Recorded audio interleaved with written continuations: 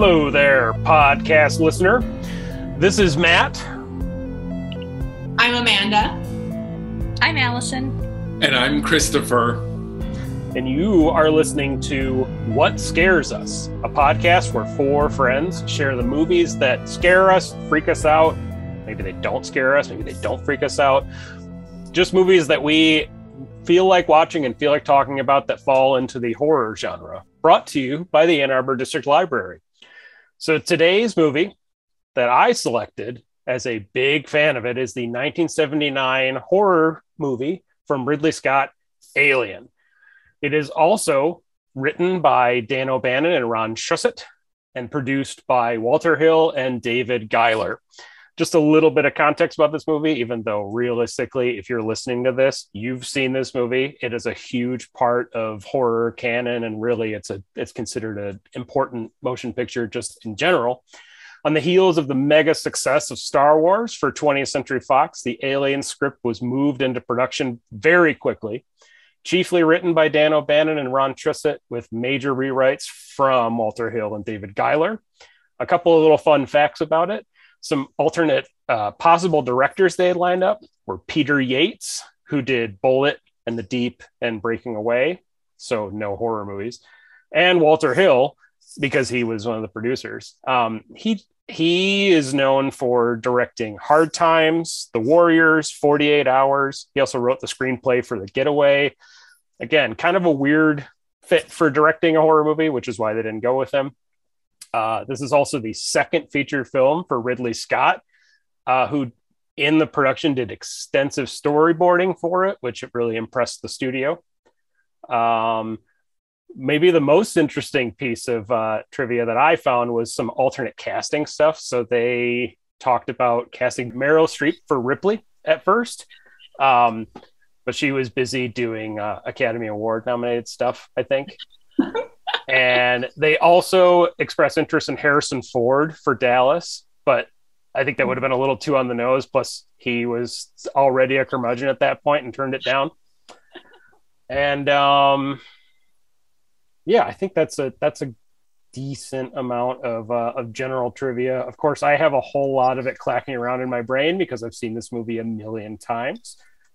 Um, very short synopsis of this is, and we this is it's debatable if this is a good one or not. This is just one that I found. After a space merchant vessel receives an unknown transmission as a distress call, one of the crew is attacked by a mysterious life form, and they soon realize that its life cycle has merely begun. So kind of vague, but uh, yeah. So, like I said, I've seen this movie I don't know how many times. Um, what is it? What's your experience with this? I've actually seen the second one, Aliens, from 1986, James Cameron's Aliens, more than this one because it came out in 86 when I was a kid and it was much more accessible for me to just see on television. So when I picture some of the visuals of the movie or of Alien, I picture them from Alien, the second one, Aliens, not Alien 2, Aliens. Um, but I love the first movie. The original Alien is so good. There are so many great elements. I love the way it's shot. I love how simple it is, how beautiful it turned out, and I love how much that it is held up and how well it was done at the time. So I, I don't know when I when I first saw it. It was probably it's, and I don't even know if I saw that before I even ever saw Aliens, the second one. I actually have no idea the order. I've seen Alien, the second one, more than any of the other aliens that are in the the series. So super excited to talk about this today. I remember when Alien came out in the theaters and the the previews or the trailers would show on TV. It was so scary. I'll never forget in space, no one can hear you scream. And my father would not let me go see the movie. Thank God I have a friend who's the same age as I am, whose father did take him to the movies to see this, and he had a full on panic attack in the movie theater. Uh, I saw the movie later and loved it. It is one of my top five horror movies of all time. Really enjoy it. That's awesome. Christopher, how old do you think you were when you actually did see it? I must have been in high school, so I would have been probably 16 or something. Eh, the, I'll just say one thing about the movie that has always stood out for me so much is that it's the characters in the movie that make it so good and so scary. Yeah. Of course, there's the alien, but that's not why it's so devastating. I think it's the characters. So I had actually never seen this movie before. I don't know how. Um, so I was really excited to watch it for the first time.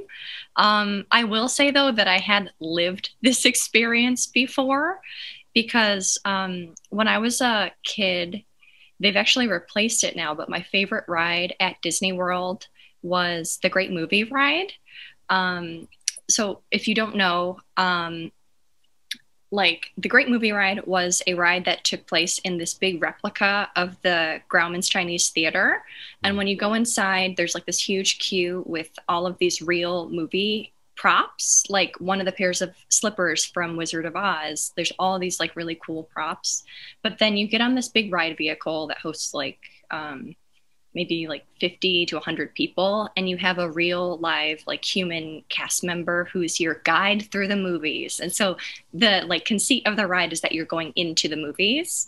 And so it starts off super slow. You see like the hollywood land sign and you see like an old um like synchronized dance thing from a movie called uh, footlight parade.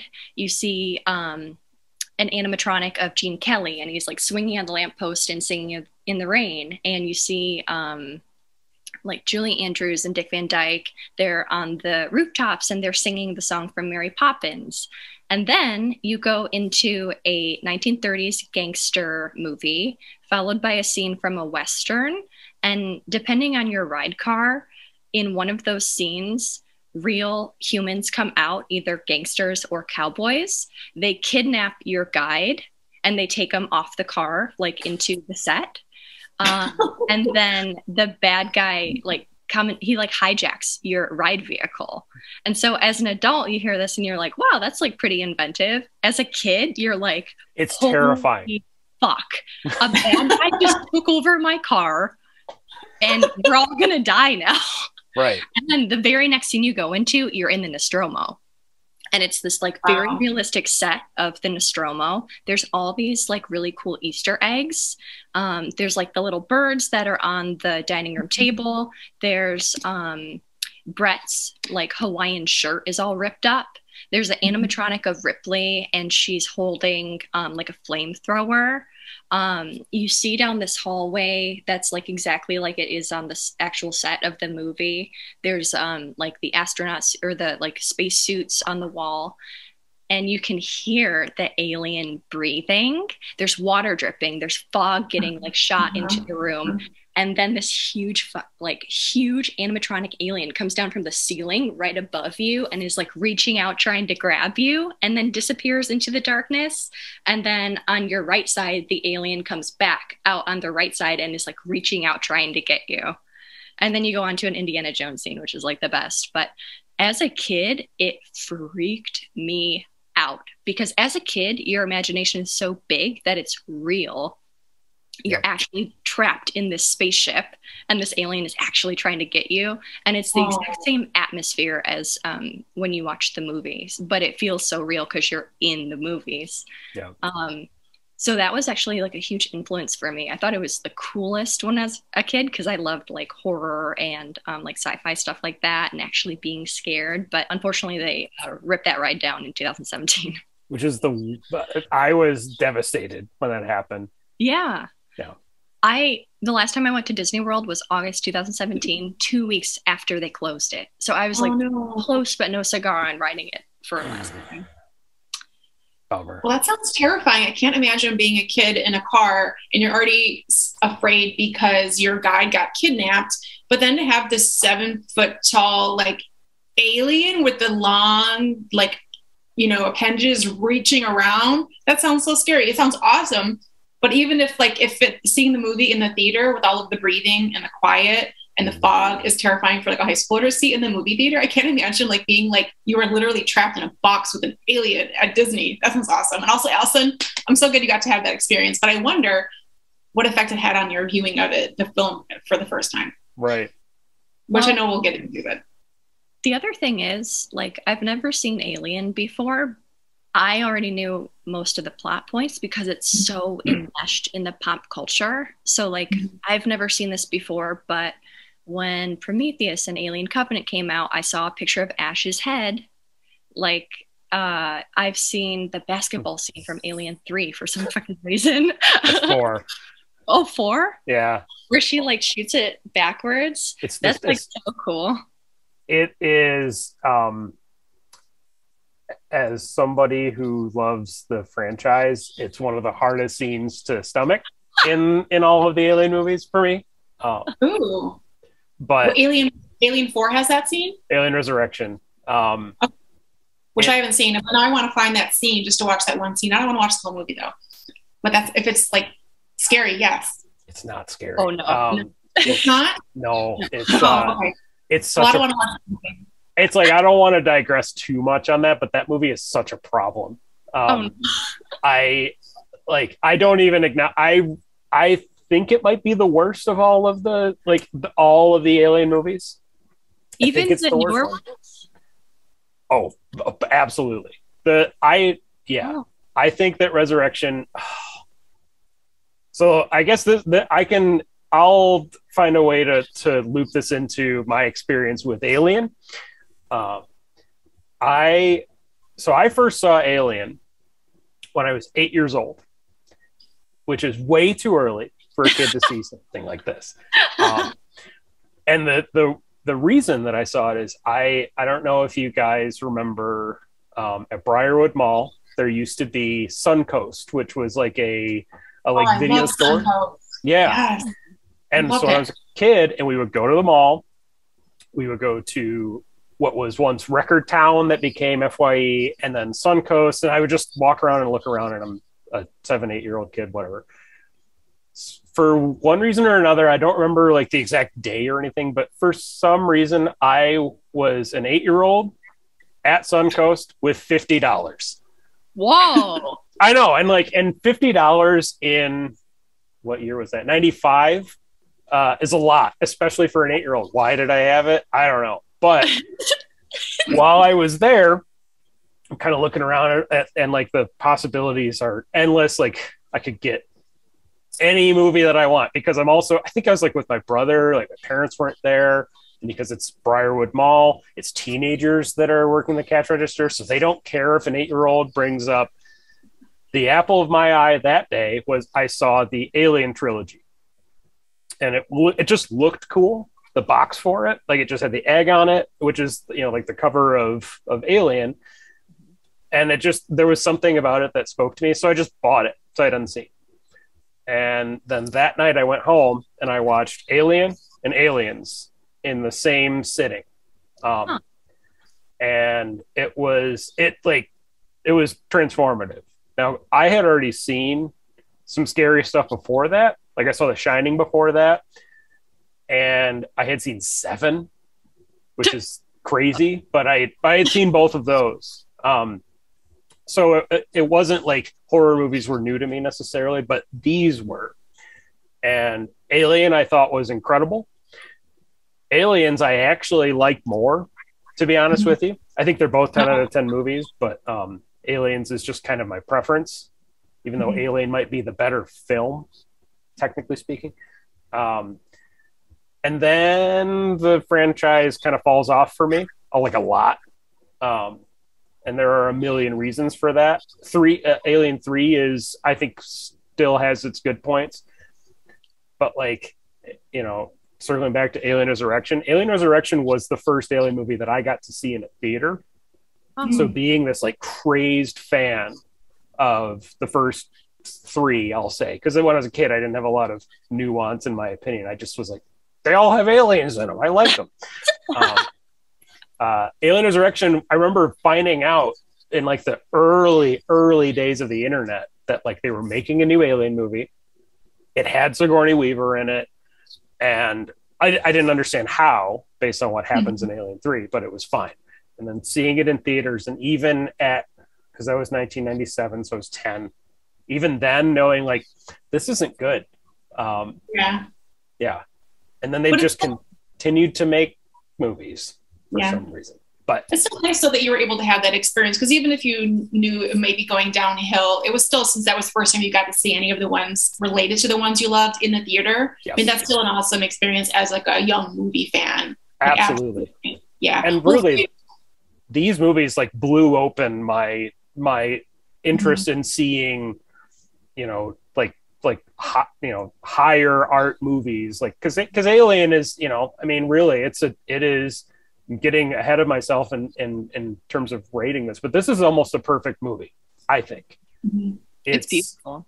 you know it's it's stunning it's scary it's serious like it, i think one of the coolest things about it is that it takes the the premise seriously there's nothing like there's nothing tongue-in-cheek about it it's gritty it's dirty it's kind of it's small in terms of how many people are in the movie but the but obviously the grandeur of the sets everything it's just it's it's this kind of movie done better than anything before it and almost anything since of this type at least think about what came out around the same time. So Star Wars was 77, which did look and sound amazing. But then two years later, Alien comes out and it does not look like a 1970s movie at all, in my view. You know, and if you think about what else came out in the 70s, you know, Logan's Run, I love it. It kind of looks a bit hokey today, or even a while ago, it looked a little hokey, maybe. I still love it, but it looks absolutely nothing like Logan's Run, uh, like Alien, excuse Right. me. Yeah, I agree with that. That was one thing that actually struck me on my first watch was how good it looked. It honestly, except for some of the um like computers and like the machinery that they have on board, it looks like it could have been made like this year. Mhm. It's held up really well and I also really liked how um like it looks gritty, but it looks realistic. It looks very like lived in, which I think is really different from Star Wars. When I see Star Wars, I feel like I'm watching like a western in space, which is basically what it is. But when I was watching this, I it just looked real, you know, and that really draws you in and makes it feel real, which is so important for the horror that happens later on. Yeah, and I feel like there were a lot of movies in like in that era in the late 70s where it could look hokey, it could look bad. And sometimes movies they did that intentionally due to that was the limited the limited equipment and style and budget that they would have had for that time period. But this just look it looks so sleek. And I as I was watching it again last night, it's just so everything, the color, the saturation, the way things are set, the way things are shot, the pans, it just all holds up. And just the visuals of the ship and space is just so different than than watching things like Star Wars. The other thing I noticed is um like I'm a pretty big fan of other sci-fi and so of course I was comparing it to other things that I've seen and um one thing that blew me away was realizing that Star Trek Next Gen came out after this and it has such a different aesthetic. Like I feel like so many sci-fi things of that era are like very clean. It's like very it's futuristic but like a really idealized future. Um and so this was like not only a breath of fresh air, but it felt so different. It also reminded me so often of The Expanse, which I love, which I'll probably talk about later. Yeah, and I think some of what helps it feel so real, um, something that. So I, again, I love these movies, and I have watched every piece of documentary that you can about how it was made, what, and read every interview and listened to. You know, like I, I really dive into the ephemera of specifically these first two movies from the franchise, and one of the one of the things about Alien that makes it work so well is that set is real. It's all all those corridors actually connect to each other.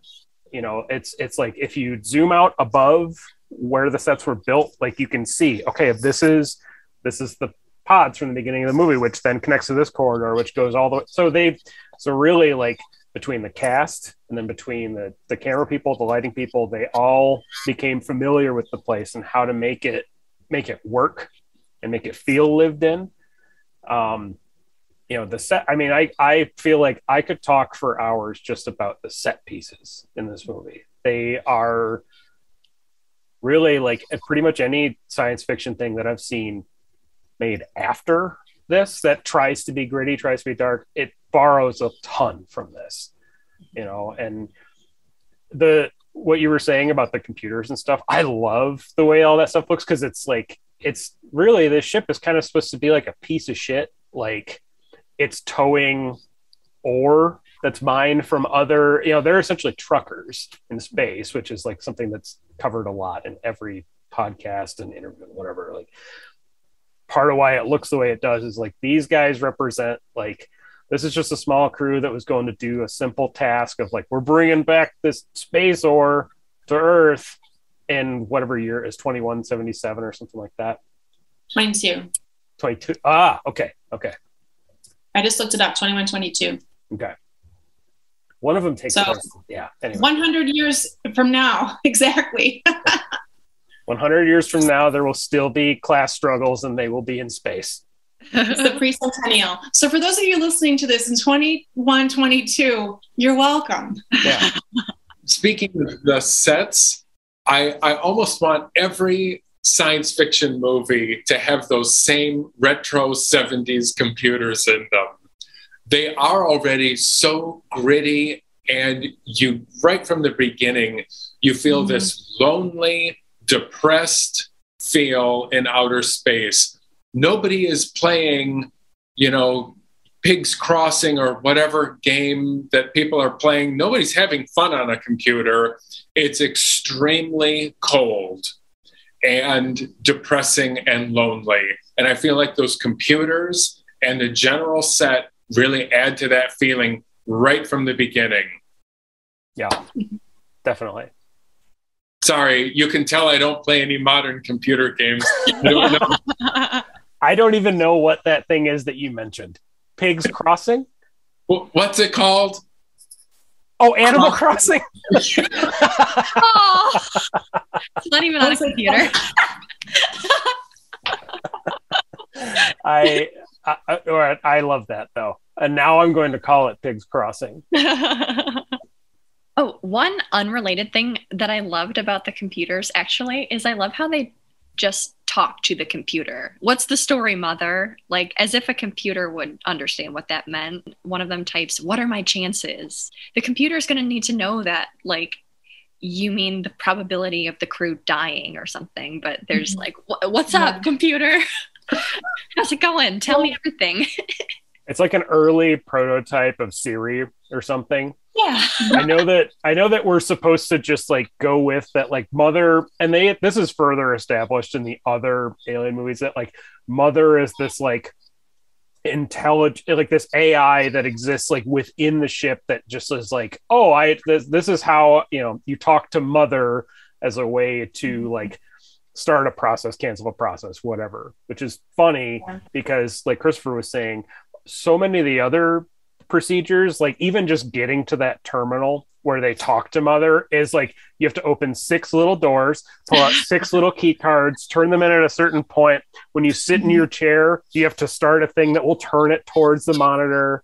Like it's all very mechanical and cold but then also you can talk to to it Well, I think too with movie, like considering that this movie is supposed to be set in 21, 22, it's a way for the filmmakers to kind of create what they think the future would look like. And this was in 79, so this was even longer ago than 100 years in the future. So it's their way of just like creating this alternate version of what is possible in the future. And this is apparently what we are looking forward to is having these sentient computers. Also, uh, for all you eight year olds out there, I do want to mention that I had totally forgotten about this until I watched Alien for the first time. But um, when I was in elementary school, um, I was obsessed with these 30 second bunnies theater move, uh, clips. And they have um, like a 30 second version of Alien with these like little animated bunnies. So if you are too scared to watch the real Alien, but you'd like to know what happens, I highly recommend the 30 second bunnies theater video. Interesting. Does it have any of the like? Does something burst out of a bunny's chest in that? Yes. Oh, All Wow. of the major plot points are there. okay. You guys should check it out after this because it's only 30 Yes. seconds, but it's cute and funny. Yeah. Is it live or animated? It's animated. Oh my goodness. That sounds awesome. I had totally forgotten that I ever liked those. And so when I was watching Alien, I was like, wait, why is this? Why do I know about this already? And it's because I watched it with little bunnies. Was it something that was on like in the 90s, like as a new show? no, no. It was um like it was on like eBaum's World or something, like very this- like early internet from my perspective. Um Okay. but there were a bunch of them. They do a bunch of like classic. I think I think they do Jaws and maybe Pulp Fiction or something. It's like very a very odd fit, but Jaws was actually one of the other movies that I was really thinking about doing for this first for my first pick. Um, it was between Alien, Jaws, and The Thing. I think I like Jaws and the Thing more than Alien. I think I agree with you on that. I think. I think I think uh, Jaws. Not that we need to get into this, but like, yeah. but but Why is Jaws better than Alien? I do think that Jaws is better than Alien. Really, Jaws and Alien are movies that I watch every year, like under some circumstance, even if it's just I'm watching the rest of it as I caught it somewhere. Jaws, I watch every summer. Jaws is a summer movie. I watch it every summer. It just puts me in the summer mood. I'm like, oh, it's July, 4th of July. Let's watch Jaws. Well, and they're both kind of similar in that they have these gritty characters and a threat that you don't see very much. And that's an important element in Alien, which we'll we'll talk about later, is just this this foreboding thing that you don't see and it comes to you in pieces. Um, but I mean, Jaws and Alien too. They were they were just a year apart in their release, and then the thing was shortly after. And same thing with that too. There was a quietness. I think Jaws is 75. I thought so. Seventy five. Yeah, I Yeah. think so. I'm curious if there was any influence. Probably not. And, and Ridley Scott would never admit to it because he's pretty proud of himself. But not saying it's not earned, but If you've seen Jaws and you are making a movie that is set with um, uh, an animatronic being that is a threat, and you're making Alien and you've already seen Jaws, there's no way you can erase. Like, you can't do a movie about aliens in space without having already seen Alien. You can't erase those things that you say aren't going to influence you, but they are really influencing you as a filmmaker, no matter what you say. I've I've watched enough stuff though with Ridley Scott where especially when he's talking about like Prometheus and Alien Covenant, the stuff that he's done later, where he is like he is pretty sure that he had all of these ideas first and like he so I could I could see him just be like, I wasn't even a little bit influenced by Joe. Well, okay, Oh. he wins. Um, no, yeah, Jaws was 75, Jaws 2 was 78. there's a Jaws Jaws too. What? there are five Jaws movies. Allison, get on it. So Matt already knows this because I talked his ear off about it afterward. But I saw the thing for the first time in October and loved it. I knew very little about it, um, so that was a really fun watch for me. But because I had just seen that recently, it was impossible for me not to compare um, the the thing with Alien while I was watching it. Um, also, you guys really lucked out because if you had chosen Jaws, I would have gone on a 20 minute tangent about the Universal Studios tram tour. I'm Well- so bummed I never got to do that. The California one still exists, Oh, but they've ripped out everything at the Florida one for the Wizarding World of Harry Potter, which the Oh. Ride was really cool. All right, well, are we ready to dive deep into space and discuss some awesome things that happened in 2122? you can't see this, but I'm wearing a spacesuit.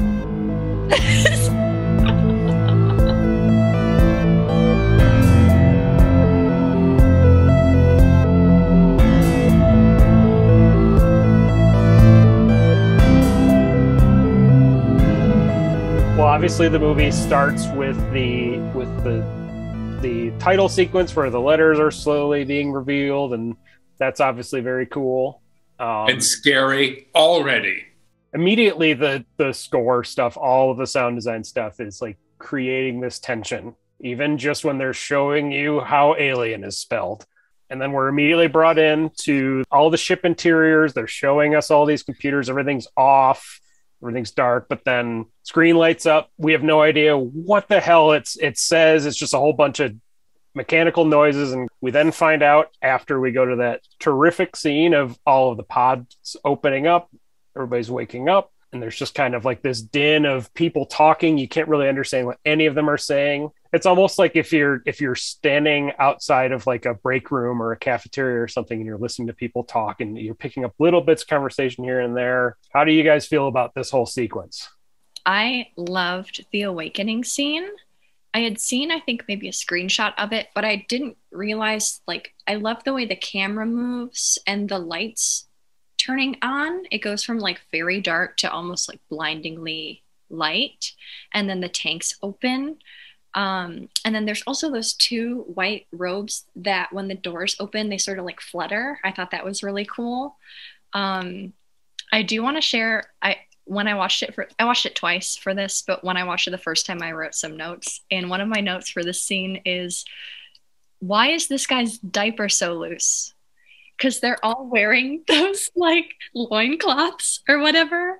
And the guy in the front, like, there's some obvious space between the cloth and his legs. I thought they were diapers because I assumed it was anyway i hear you loud and clear i absolutely like i was trying to remember what my feelings were the first time i watched it at eight years old i do distinctly remember being like those are diapers and Yeah.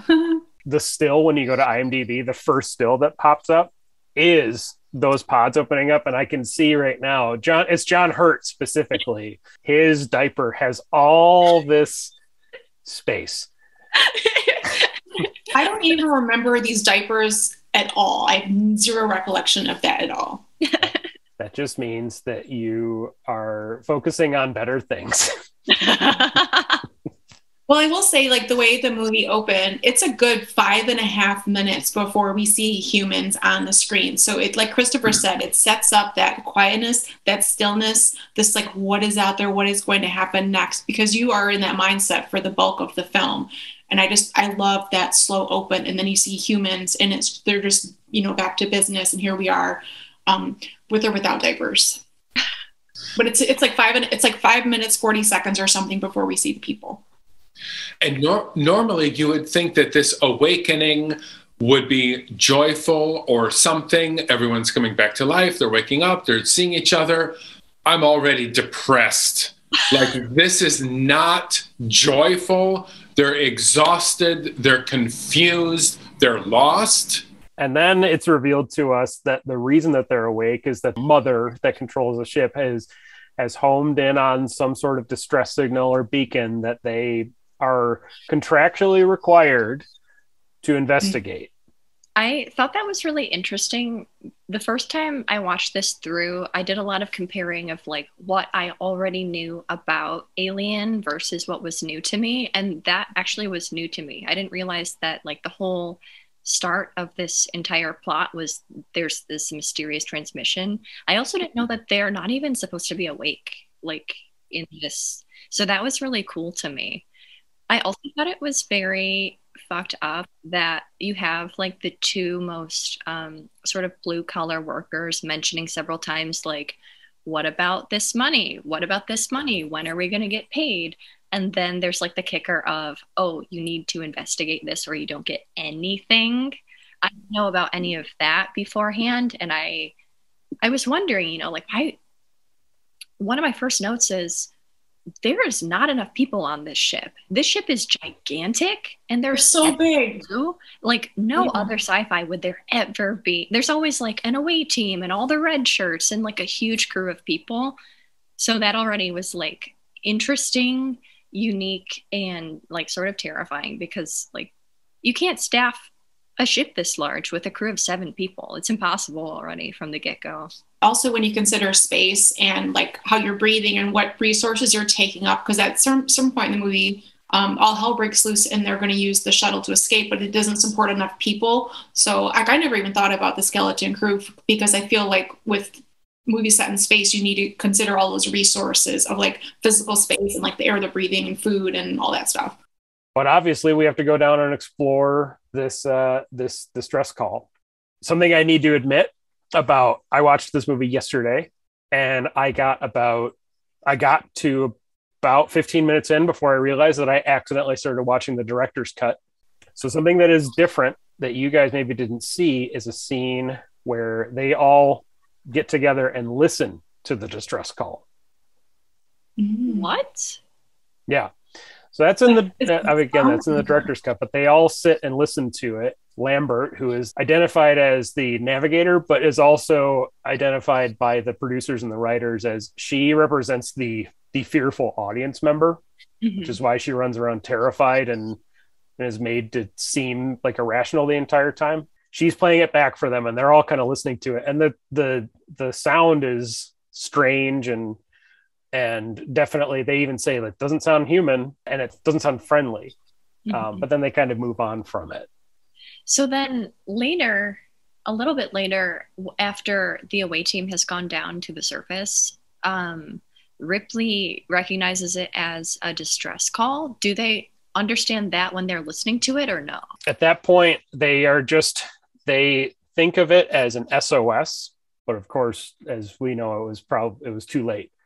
So once we've established our our motivation why they're going down to this planet, then we have the they're all in the cockpit and they're doing this landing sequence and seemingly landing on one little rock fucks the whole ship up big time in a scene that is still very loud. It's way louder than I remembered it being. And there's just this loud, terrible explosion and hissing and alarms and this and that. And it's just more ratcheting up of stress. That sequence, and really throughout the movie, there are so many cool miniatures used. That stuff all looks so good, and it still looks good today. Mhm. Whereas today it would be done with with CGI and special effects, and it would and it would just kind of be whatever. It would sure it would be impressive, but like these were handmade and painted and lit. One thing I noticed about this scene is um, they say there's no other channels open. And I just think that's such a fun horror trope. It's always like, oh, the phone lines have been cut, or uh, the operator's in on it, or there's no cell service here, or oh, the internet's really spotty out here in the woods, or whatever. There, horror always needs a reason why you can't communicate with anybody else. Even though your entire ship is a mother and is a computer Right. that understands simple sentences. I also really loved um, when they're land. Is, is it the Narcissus? Is the Mhm. small ship? Yep. When they're landing that on the surface, um, I assume they're just painted backgrounds, but the Yeah. backgrounds of space are really beautiful. that set like that piece like where where you actually see them get off the ship and, and go exploring and try to find where this signal is coming from a lot of that was real they were on like one of the largest sound stages in london. I think it was shepperton studios. You know they spent i think at one point when i was watching the documentary about this like one of the stagehands that helped build a lot of the sets said that he worked for 11 weeks straight with no weekends on building like all of this all of that stuff but then also the interiors of the derelict ship that they eventually get onto which is a which is a H.R. Giger pornographic nightmare Yeah. I love when they start exploring the ship before they find the eggs, just walking around in the stillness and just watching the the colors and the shapes because it's so it's so similar to like the shape of the actual alien you see later. But I just love the all the little tunnels and how it looks like they're just like navigating these little tunnels and like just the visuals of the of the ship is really cool before they get into the lower level. One of my notes is uh, the little tunnel thing that they walk through right before they walk into that chamber with the big alien guy is really claustrophobic. I bet Christopher likes this part. I do love all these scenes. And then they get into the big chamber, and there's, I don't remember if they call that figure the space jockey in the movie, because I, I had, I was of the era of collectible trading cards. So I still have all my alien trading cards. Wow. And that was the first time I remember seeing that phrase. But the other cool thing about this whole movie is they never explain. They raise the question of, hey, it kind of looks like that that figure is part of the whole console or built into the chair or whatever, and it's just left, and the viewer sees it. The viewer is still baffled, and that's it. and there's no explanation. And I love that about this. It's like, is this thing alive? This this whole exoskeleton thing? What is going on here? Oh well. Uh well, and something that is mind blowing to me about that is that the studio considered cutting that set piece because it was it was cost prohibitive. I think it, I think at that time in in seventies money it was like three hundred or four hundred thousand dollars to construct that set. And when they saw in the script that they were like, this is going to account for two minutes of this movie, like why are we spending all this time on it? I don't remember which writer it was. They referred to it as their Cecil B. DeMille shot, where they wanted it to be this thing where they pan back and they show you this massive sense of scale where it's like you've never seen anything like this in a movie before mm-hmm. and and it's and what the hell is that and they don't want to tell you because they like all of that mystery because everything in this movie is alien i was particularly scared of that when i was a kid because it it's just it I mean, it's bones, it's elephant. It's like you, can kind of see its eye, like the details of its eye when they get in close to it. And what the hell is it? And why did something blow out of it? Like, it's it's this perfect thing that unfortunately Ridley Scott, 30 years later, decided to totally ruin with Prometheus. But you know, but that's just my own personal opinion. Yeah. Um, we digress yeah. Um, but no i think it's important and i love that again the unknown and knowing how large it is and just the unknown of because you don't know what's going to you don't know what it is because you haven't seen and well in theory if you're watching it for the first time you haven't seen any of the other pieces. You don't know what you're getting into. Another little fun fact about that particular scene especially when they when they've panned way up above and they're showing you the size of that room part of what they did to give you that sense of scale is that they put children in the spacesuits so it's Ridley Scott's two kids and then two other, I think two other or one other kid. If you're watching them, you can see one of them is definitely like a kid. He kind of has like child movement where it's like, um, yeah. you know, for the first time, I think, and I'm just realizing this now, that the viewer is looking at something fairly clearly and not being able to figure out what they're looking at. This almost gets closer to the whole H.P. Lovecraft idea than anything else I've ever seen visually. Where, mm-hmm. you know, at the end of a Lovecraft story, someone opens the door and they see an unspeakable terror. Here, I'm looking at this thing, I can see it, and I have my mind literally cannot process what it's looking at, you know? Well, and it's like, is it supposed to be in that ship? Does that ship belong to it?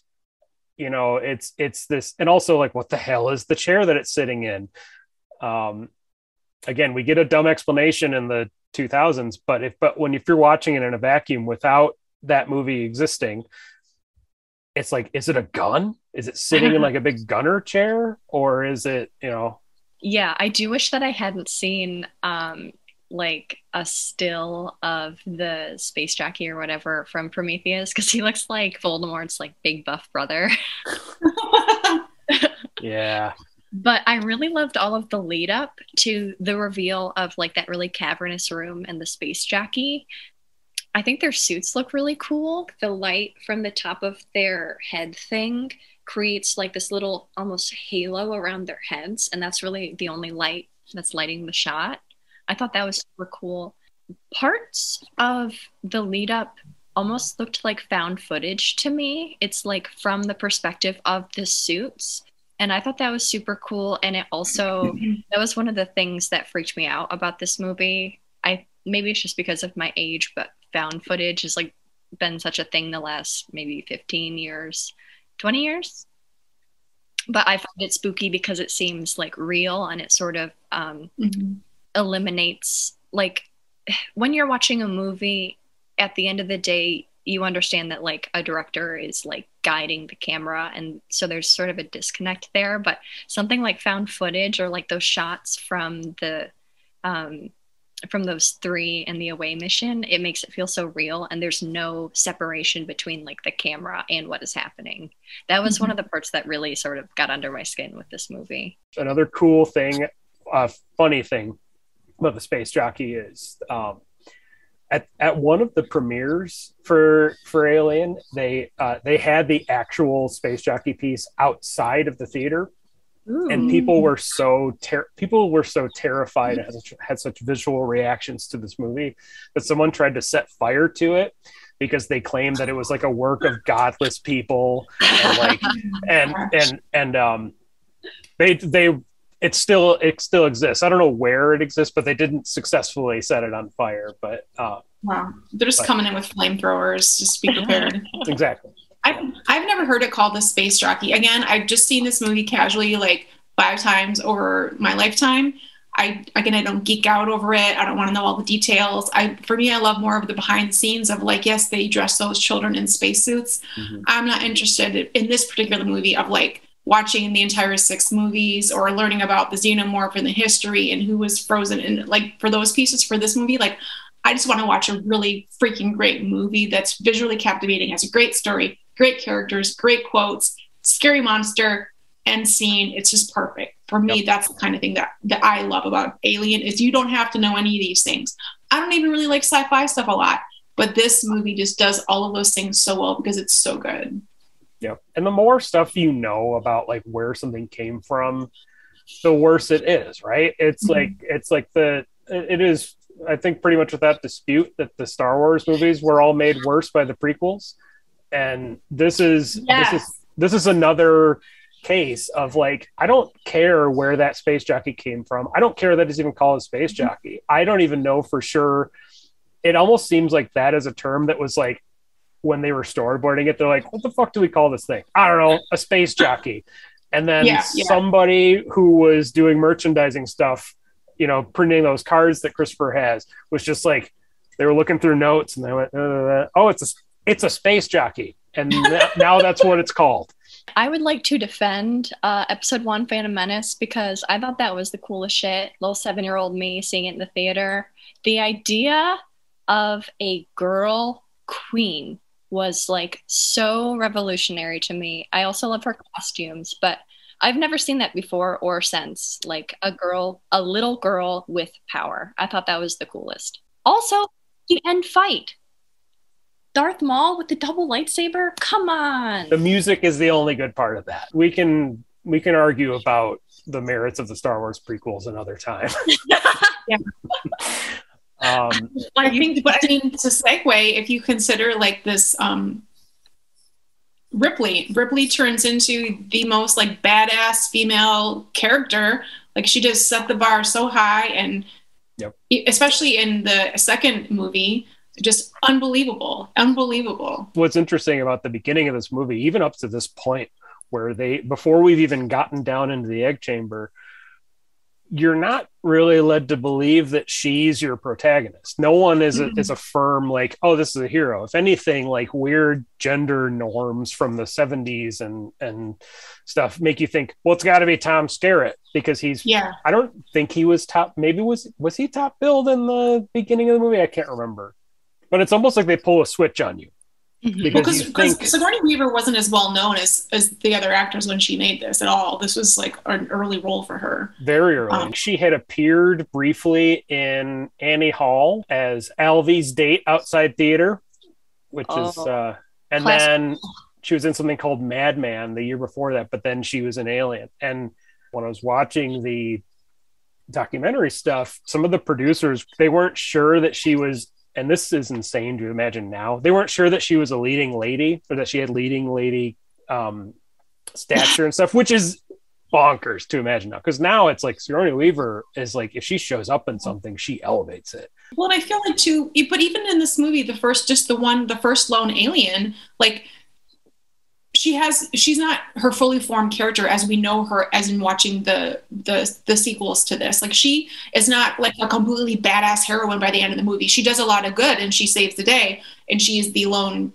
woman standing. But you're not like for me, I'd seen Aliens and I already knew that she was this fierce warrior, and so it sort of I already knew that she was like the badass. She was the one, like because I'd watched Aliens before I'd seen Alien, like as a as a young kid. But yeah, I mean that for me, that's like just the my favorite part of these movies is her. I really wish I thought this in like a couple different ways, but I really wish I had the opportunity to see this movie without knowing who Sigourney Weaver was. Um, I actually, right before I started watching it for the first time, I wrote down everything I knew about Alien and then everything I knew Sigourney Weaver from. And um, like after having seen her in that like mech suit in Avatar, it's like, it's still cool to see her, but it's I've already had her established as like big action movie star in my brain, so it's hard to go back and like see her without that. Um, it also made me, frankly, like so sad and disappointed because I couldn't think of a single other female action star who is as like realistic and cool as she is in this movie. And this movie was made in 1979. Like, it's tough because like you could make an argument for Linda Hamilton I was just going to oh, say from, Term- yeah. Terminator. Yeah, Dude. that's the only other one I can think of. But she's I, also, but even in that first Terminator, she's still like kind of in distress and going ah, you know. Mm-hmm. And but then by the time we get to um, Terminator Two, she's like she's made of steel. Yeah. Dude, you know? yeah, they're all a bunch of Tomb Raiders at that point. You know, after all what all three of you have said about the transformation of the Ripley character in this, it does make me realize that's another reason I like her and this movie. She is just another uh, crew member at the beginning of the movie. Listen, when you watch uh, Indiana Jones movies, he's already this hot shit flyboy who can do anything he wants. And that's it's like you already know what kind of movie you're in for, right?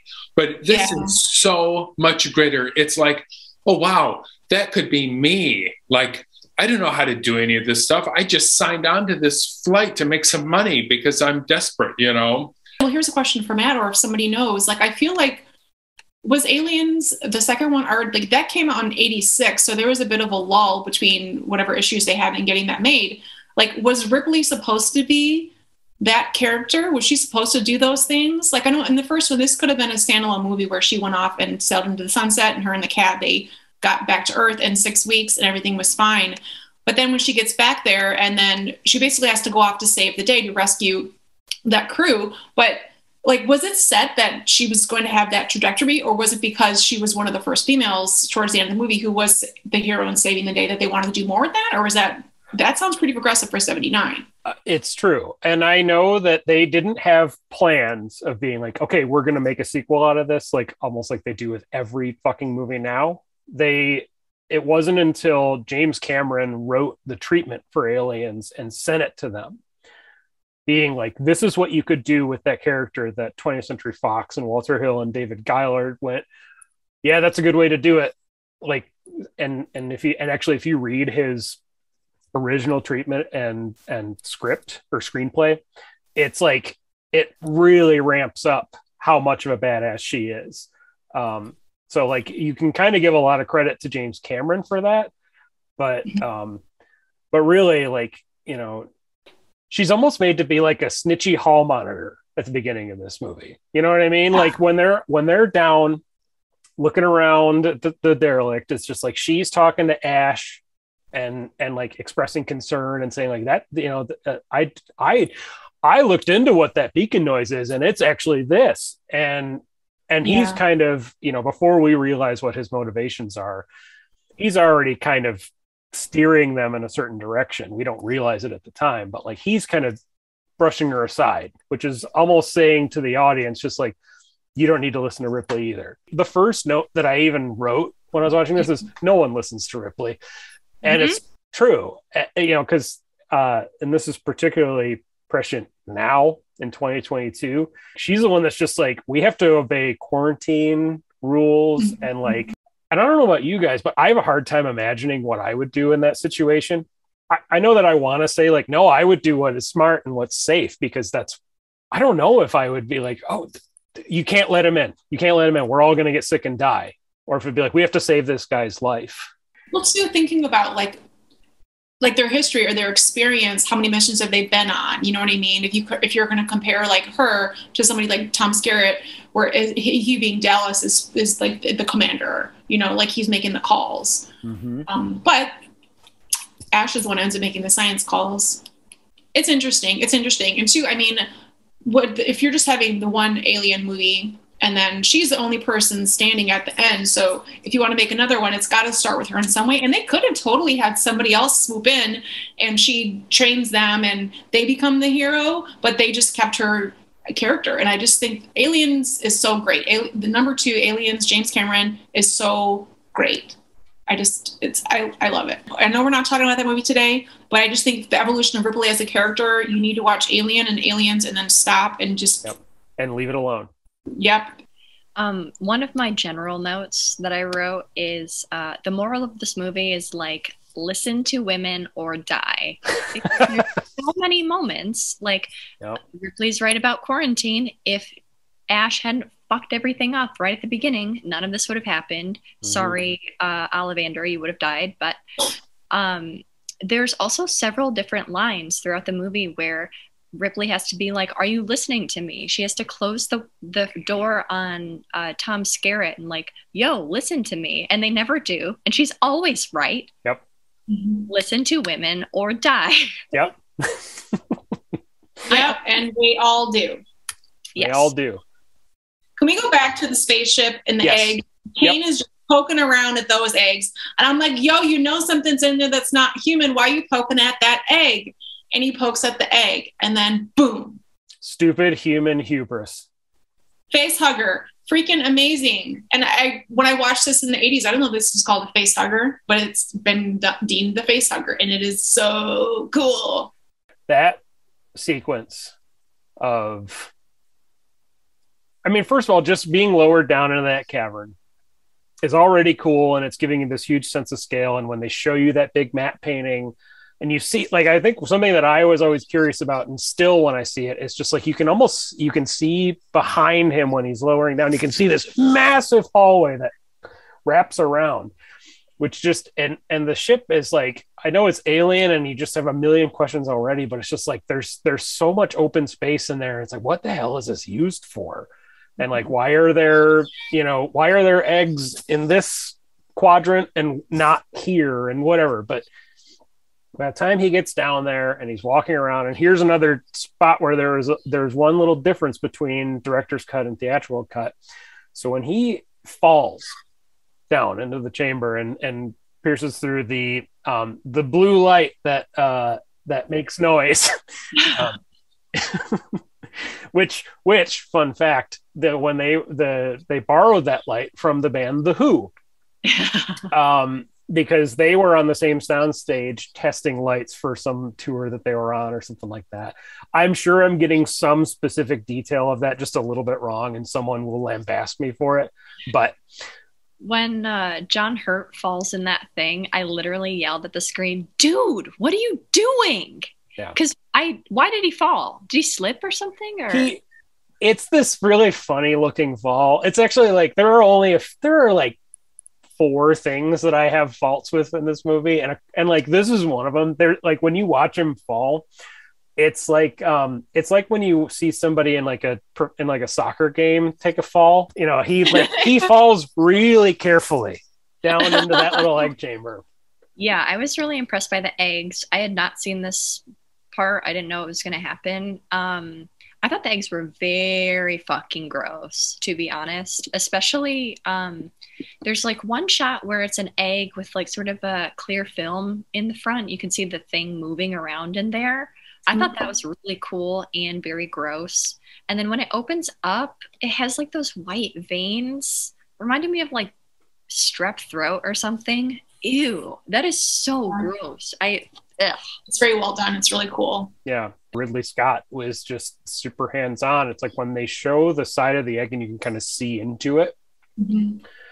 he put on surgical gloves and got and and was just fluttering his hands to They're basically making shadow puppets. to show that yeah and like and you can see in the documentary like they show him like he is like in there and he's telling everybody how to move the camera and like you know and he had the idea for how to like do you do it through fiberglass because then you can you know and you put this like weird film stuff on it and then you can you can kind of see through it and it makes it look like the anyway it's but yeah he did that and uh and i guess it was really smelly because of course it's it's an actual cow stomach, and really a lot of the gore stuff and the creaturey stuff is like they got it from local butchers.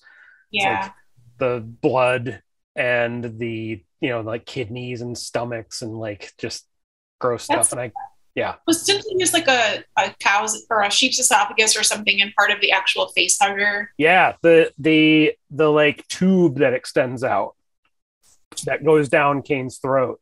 It it's hard to it's it's hard to tell, and of course it's on purpose. But like when he actually when it actually lunges out and and grabs onto him, they shot a sequence of just it splayed out and the tube coming out, and then also one where it's like lunging forward, but they had to do it in slow motion and speed it up to make it look that way. And they basically just used a couple of frames from from this gross shot a couple of frames from this gross shot and then a couple of frames mm-hmm. of him with it already on his helmet falling backwards. And because of the way it's assembled and this is true of any of the creature stuff in this movie because it's like just like really quick cuts and a few frames here a few frames there Yeah. you don't see exactly what happened but you know that it was scary and the sound effect that happens there is really like that screech and stuff is is really freaky it's it's it's just oh it's just perfect Back on the ship. I love how Ripley's just like, mm no, we're not doing this. We're not breaking quarantine. She's like so calm, cool, collected, and just like, no, no is a full sentence. We're not negotiating. No. And also, Ash is the biggest asshole. That's one thing that I thought was kind of interesting. Like, I know that there's no way for someone to know ahead of time that he's a android right but he acts suspicious as fuck throughout the entire movie. Like he's always in the background leading them towards something. Oh, you won't get paid if you don't go check this out. Um, oh, don't uh, let them know that it's a warning signal because by the time you get there, it's going to be too late. Opening the door, like he's like an evil mastermind, and he's not that subtle about it either. No, and I I think the first time you watch it, you maybe don't notice it quite as much, but I picked up on these little things this time. Um, there's a line that made me laugh a little bit when they first land and they're trying to fix the ship and they're talking about like oh, I don't know if we should go out there yet. And he goes oh the sun's coming up in 20 minutes where he's like trying to like encourage them to like no, no you should go do this thing that is definitely my main directive you know? Yeah. and there's and like he and like and then he opens the airlock. Like he's you can he has a lot of these little glances and little things that now like knowing that he's an android like, you can see them as robotic but he's also just uh, yeah he's always up to something he's always pulling their strings and steering them in a certain direction even if it's not obvious the first time you see it Or that weird scene where he's looking out the the windows and he's just smiling. Yep. Do you remember that? He's Yep. just got the, the weirdest smile Yep. on. You know, so odd. yeah ian holm Right. plays that part just perfectly he's Yes. just yeah it's really good and i love it when like the when he eventually um his head comes off and one of them is a parker who yells ash is a goddamn robot and Yeah. just like fighting this um Right. he has some really good one liners but i just i love that scene of like the white blood just squirting everywhere. It's so disgusting. Like the liquids in this movie are just like oh very cringy and disgusting. You can see him start to sweat the little white beads you're like wait a minute. Before you know officially that he's a robot you see the little white beads and why does he have the white goop on his head? Um but yeah i just i love that scene with the robot. Yeah. Yeah ash i agree is an ass and so sigourney was right. She had a feeling about that guy and Listen to women or die. also, what is the deal with the cat? Why do they have it on the trip? Was it in one of the pods or is it just hanging out? No, it can't be just hanging out because how would it eat? I need a cat origin story for this movie. I, I've heard people have that exact same question about where Jones is, like where Jones is at the beginning of the movie. I think we're just supposed to assume like probably with Ripley or something, Ah. but I but we don't see until like until they're like, oh, there's a cat, cat in the shot. i think that having a, a cat is a quieter animal than a dog it makes more because a cat is more chill but it makes sense to have another living breathing entity on the ship. So when they use that machinery to try to um, detect where the the alien is, that's helpful. I think it also sets up Ripley as sort of like this um, caretakery figure mm-hmm. because she's still at the end. She's got her flamethrower in the cat carrier. She's trying to save the cat and bring the cat to the shuttle for the big escape. But then also when the crew is out there trying to, they break up into groups to search for the alien. Um, the cat is a distraction. It's something to follow. Like when Harry Dean Stanton, he's like, oh, let's go find Jones. Why is he breaking from the crew? They specifically set up in teams to go search for the alien, but then they let Harry Dean go off on his own to grab Jonesy real quick. And that's also when he gets killed. But also, that's one of my favorite scenes in the movie is the Harry Dean kill scene because you have this amazing, these long shots of the cat's like terrified face watching um dogs or um, watching Harry Dean get killed by the alien so for me, though, that's sort of like why the cat. That's not the true facts why the cat is there, but for, for me, those are some of the reasons why the cat made sense to be in the film because you're not going to have a rabbit, you're not going to have a dog, and maybe it is like um Sigourney's cat or um Ripley's cat, but it just for those different elements, it made sense that that's why you needed to have like the cat as sort of like a story device to make some things happen. I was just gonna say, I wondered if like I I haven't looked at this before, but I'm curious if in Dan O'Bannon's original story, when everybody was named something different and Ripley wasn't even a woman, like if the cat was there and it was there as a plot device to just be like a, a scare fake out here or whatever or like you know a thing for the very end of the movie. I'm not really sure if like jones was written in later because i know that you know, Walter Hill and David Giler made huge changes to the story, including making Ripley a woman, making her the the hero, and and there there are a couple of other um, rewrite things that I don't remember exactly what they were. But speaking of the Harry Dean Stanton scene where he's looking for Jonesy, you also get to listen to him meow a couple of times. I love it. I love it. And I and like this is after he's he's like he says this is bullshit or something like that, and then he and then he starts meowing. Yeah, I really liked that scene where um, he's looking for Jones. It gave me sort of like Saw vibes because it's so mechanical looking. Um, the lighting is sort of like yellowish, which I associate with the Saw movies. Um, and all the machinery has really good textures. I noticed specifically there's so many really good textures and like uh, there's the water raining down, which is super gross. I don't know why he would stand in there. Yeah, with the liquids. There's so many liquids in this movie.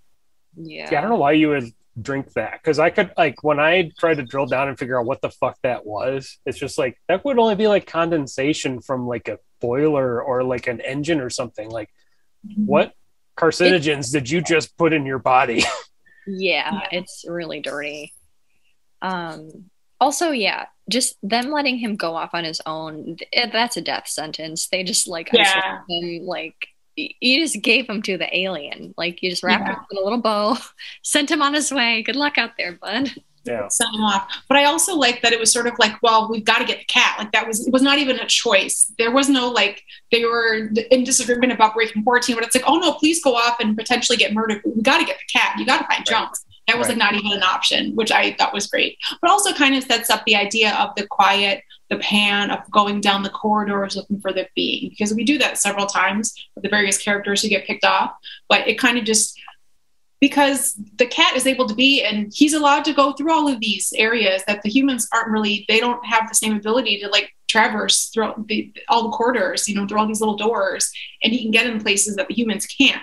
So yeah. kind of gives you that creepy um not only is the alien hiding behind those those little cracks and crevices within the ship but the cat is too. And so kind of just gives you that um searching and hunting vibe where the cat is menacing behind things but for an opposite reason than the alien the cat made me more on edge than anything for the most part i i didn't even know some of the characters names until the second watch um, it was just like oh the guy with the hawaiian shirt or whatever mm-hmm. but as mm-hmm. soon as i saw the cat i was like fuck am i gonna have to watch this thing die because that's such a horror trope is like oh the new family moved in with a dog and the dog is the first to die or whatever um, mm-hmm. but it was funny because when Harry Dean Stanton goes in that scene, I'm, I was immediately wrote him off. I was like, oh, uh, he's dead. He's gonna die.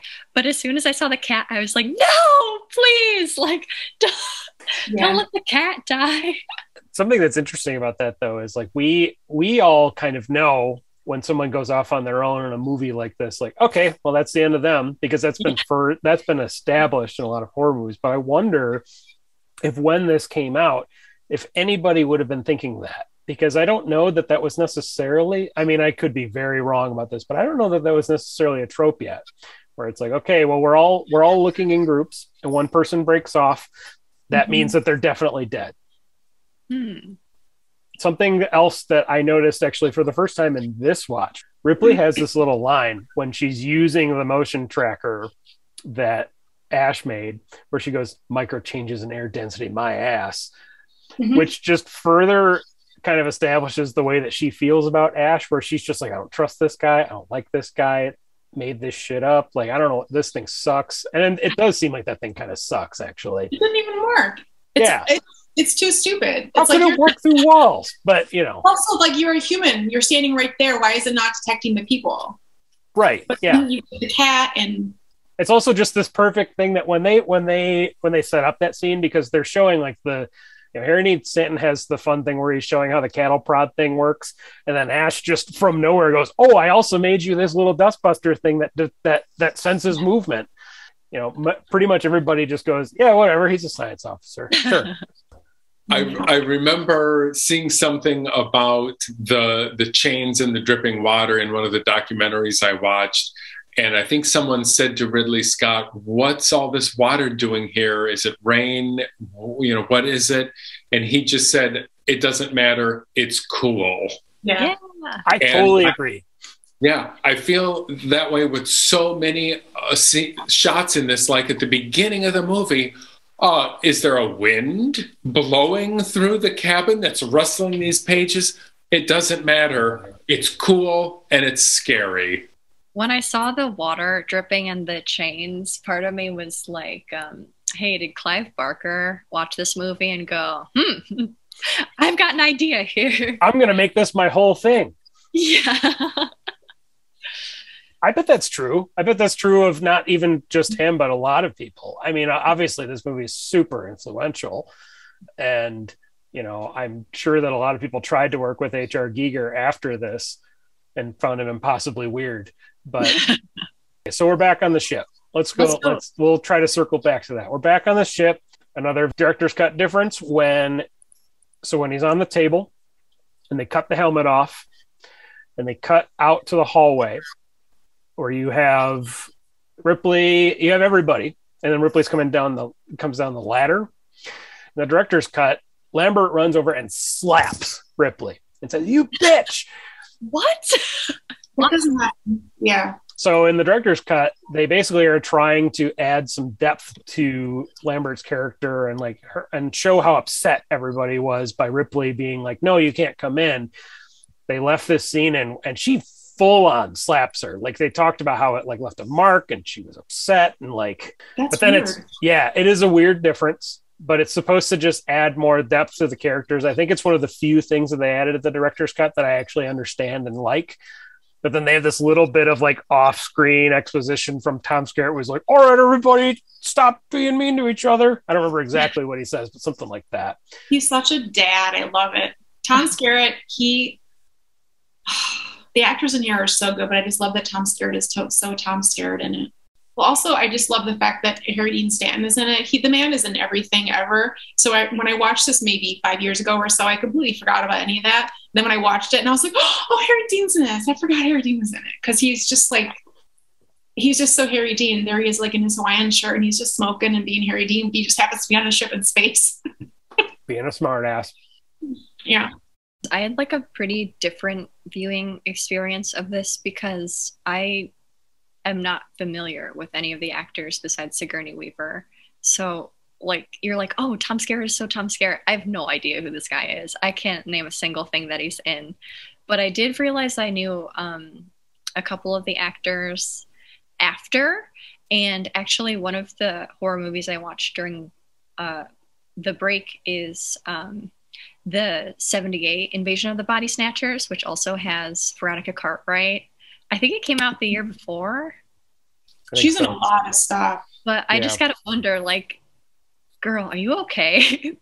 Because both of those movies, she's just like, ah! Well, she Yeah. originally was she was under the impression from her agent that she was going to play Ripley. which is so rude. Well, because Yep. she was much more. She was had been in more things and was more well known than than Sigourney. Yep. It wouldn't have worked though if the roles had been reversed. I would not have liked this movie as much. Although uh, uh, something that's funny about what you just said is, to me at least, one of my notes that I had is nobody does wide-eyed terror better than Sigourney Weaver, other than maybe Veronica Cartwright, right? because you know I definitely believed that she was like like a like frayed ends terrified the entire time, especially after after the sequence with Kane. yeah. Um, Mhm. which you know we don't we don't have to dissect that too much but like i mean that's that is it's probably one of the most famous sequences in in all of cinema. Something that when it happened it hadn't been done before and it made people sick. It made people it's and it still looks good even by today's standards. And the fact that there were that it happened in stages oh my god how gross is that there's that first weird eruption where his shirt is all bloody and then it comes out it's it's boy whoever thought of filming it and doing it that way they really hit on something amazing Well, part of it was it was only filmed one time, and that's what the puppet was doing, and it wasn't coming out all the way. Right. That second, like after that initial spray where everybody kind of stops and goes, holy shit. The second time, like the second lunge was supposed to be the lunge. But because they hadn't cut enough of a of a slit down the shirt, it didn't all didn't break all the way through. But it's great because it gives you a chance to have more of like the bone crunching and squelching noise. And also Mhm. just another excuse to fire blood all over that room. So those are like actual reactions of seeing that happen for the first time, especially Veronica Cartwright, because she was just freaking out.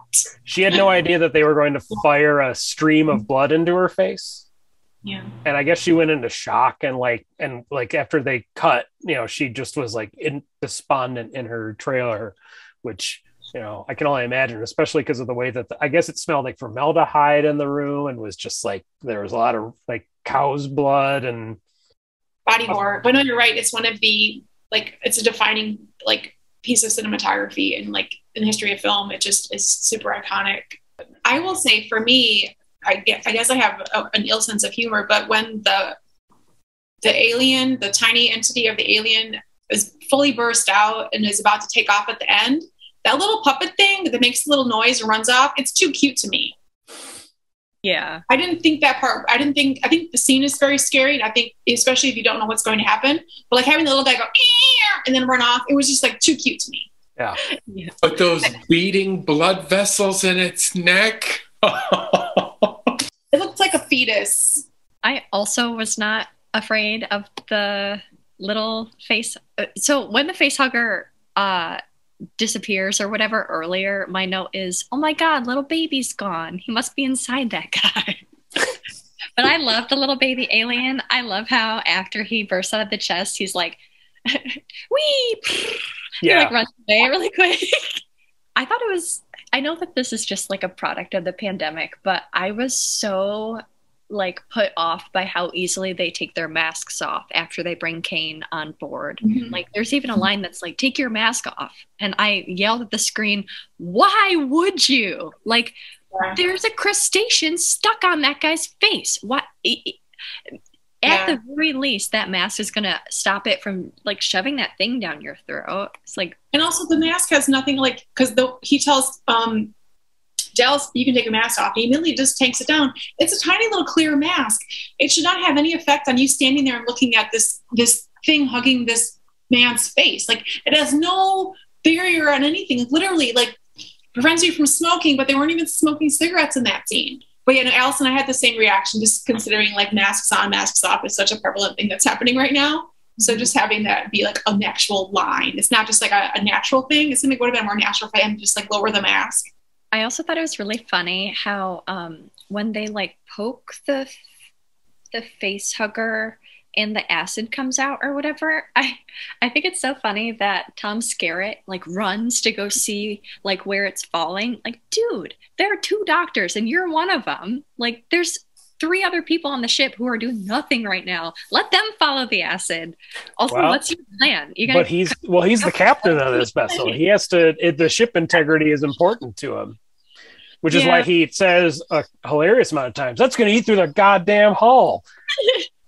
It would have taken him longer to explain to the other people, like run up and down every level below this because we just poked a hole in this alien creature and it's now dripping acid. You know what I mean?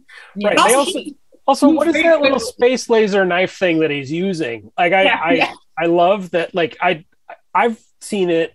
I've seen that scene enough times that I should know how that thing works. But the more I look at it, the more confused I am by it because I don't see a blade, and it makes a noise like it's a laser. I thought it was a laser. Yeah, it seems like it could be, but I also didn't really understand how the saw that cuts his helmet off really worked until until really this time because I watched Yeah. it in like a very nice, very clear 4K copy where you can see a blade in there. But what they Um. use on the on the you know on the, what they they say a finger. I wanted there to be a scissor that like snipped off the leg and then the leg just drops down and then the acid. I wanted to feel like appendage, like droppage happening. yeah. But the scene where they cut the helmet off is also so well shot because there's all that white gel or hard material or whatever it is. And, you know, again, by just showing the after effects of the face hugger bursting through his helmet without actually seeing it do that, I think is so great in the movie. It's like, Yeah. what? I don't even know what I'm looking at, you know, but it's creepy and gross. Maybe that's going to be my constant mantra in this. I don't know what I'm looking at, but it's creepy and gross. I think that's awesome though. I think that's I think that's the best way to think about this movie. I don't know what that is. Yuck. You know. I Um, also think it's really interesting.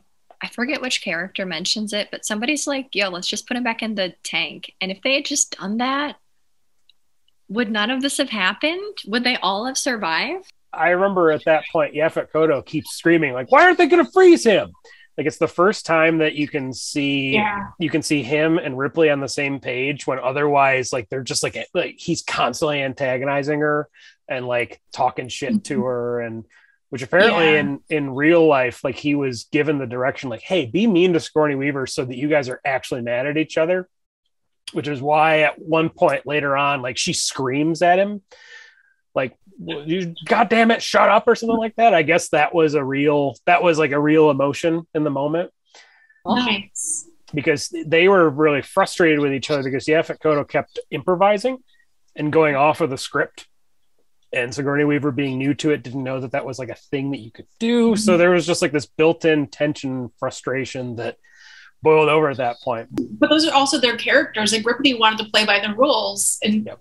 and then Sigourney wanted to read the script, whereas Yaphet he wanted to just like play off her and piss her off, so that you know their characters would have their reaction. But also that's his character. He was kind of the jokey, the mechanic, the more of the blue collar. Um, him and Harry Dean together, they were kind of paired off. Right So I like that. I like that little bit of history. But that's an amazing scene, though. Just all of them, the shot where they're visually just sitting around the table, like eating and chatting and making fun of the food, and then all of a sudden music, eh, eh, eh, eh, eh, oh and yeah then it comes out. That's a beautiful setup. Just the the calmness because you think everything's fine. Oh, it's unaffected, but you know it is because you saw the tube going down his throat, so you know something's laying eggs inside its belly or something. But I just love that it's such a chill scene, and I love the visual, the the the wide shot of all of them at the table with their banter and the chatting and like just moving on from what had just happened Yeah. before the it's the chess. second time that actually happens in the movie. You know, it's like the second time they have a little Uh-huh. tension break. Um, Yeah. You know, and you have that little line where Tom Skerritt gets to be be very dad like again and go, "Hey, I'm buying about one last one last meal," and Aw.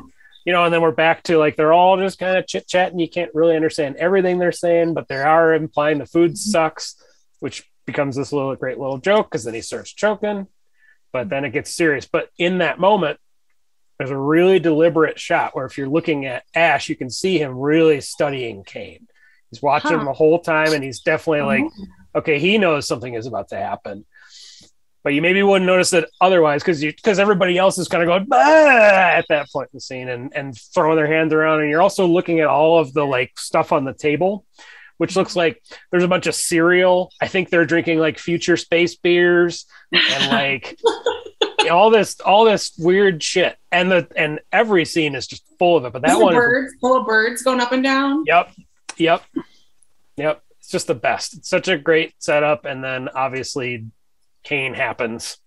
This scene really reminded me of the dinner scene in A Tale of Two Sisters, where like it's like either a normal scene or like you know something's a little weird about it, and then somebody like falls on the ground and like has a thing. And I think it sort of plays to this natural, um, like the natural horrificness of either being a person having a medical emergency like a choking or you're having a stroke or a heart attack or something or being one of the bystanders like that's one of the scariest things in real life i think is like Mhm. everything's fine until all of a sudden bam everything's not fine and you need to work really quickly to get this person help um, Mhm. so i think that's so effective because it relates to like a real life thing that anybody can experience at any time but the other thing that really struck me about the chest burster scene is it's shot exactly the same way that an exorcism would be shot in any other horror movie.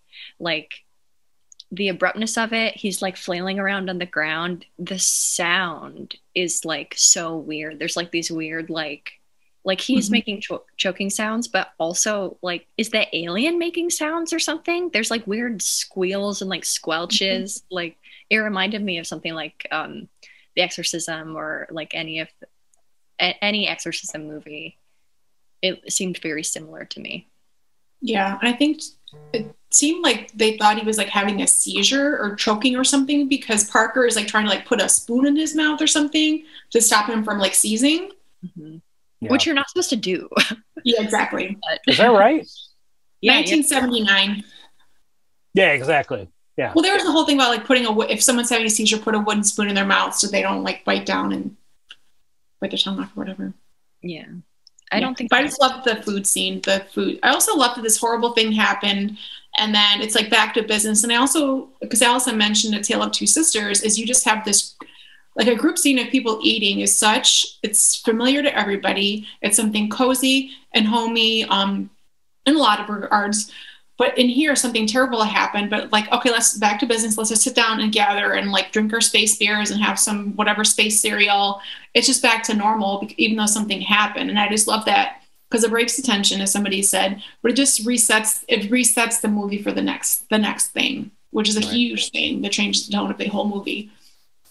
and just going off of that i love that after the chest chestburster leaves and they think it's over they're able to have that moment where you know it's more lighthearted and they're all getting together to like eat.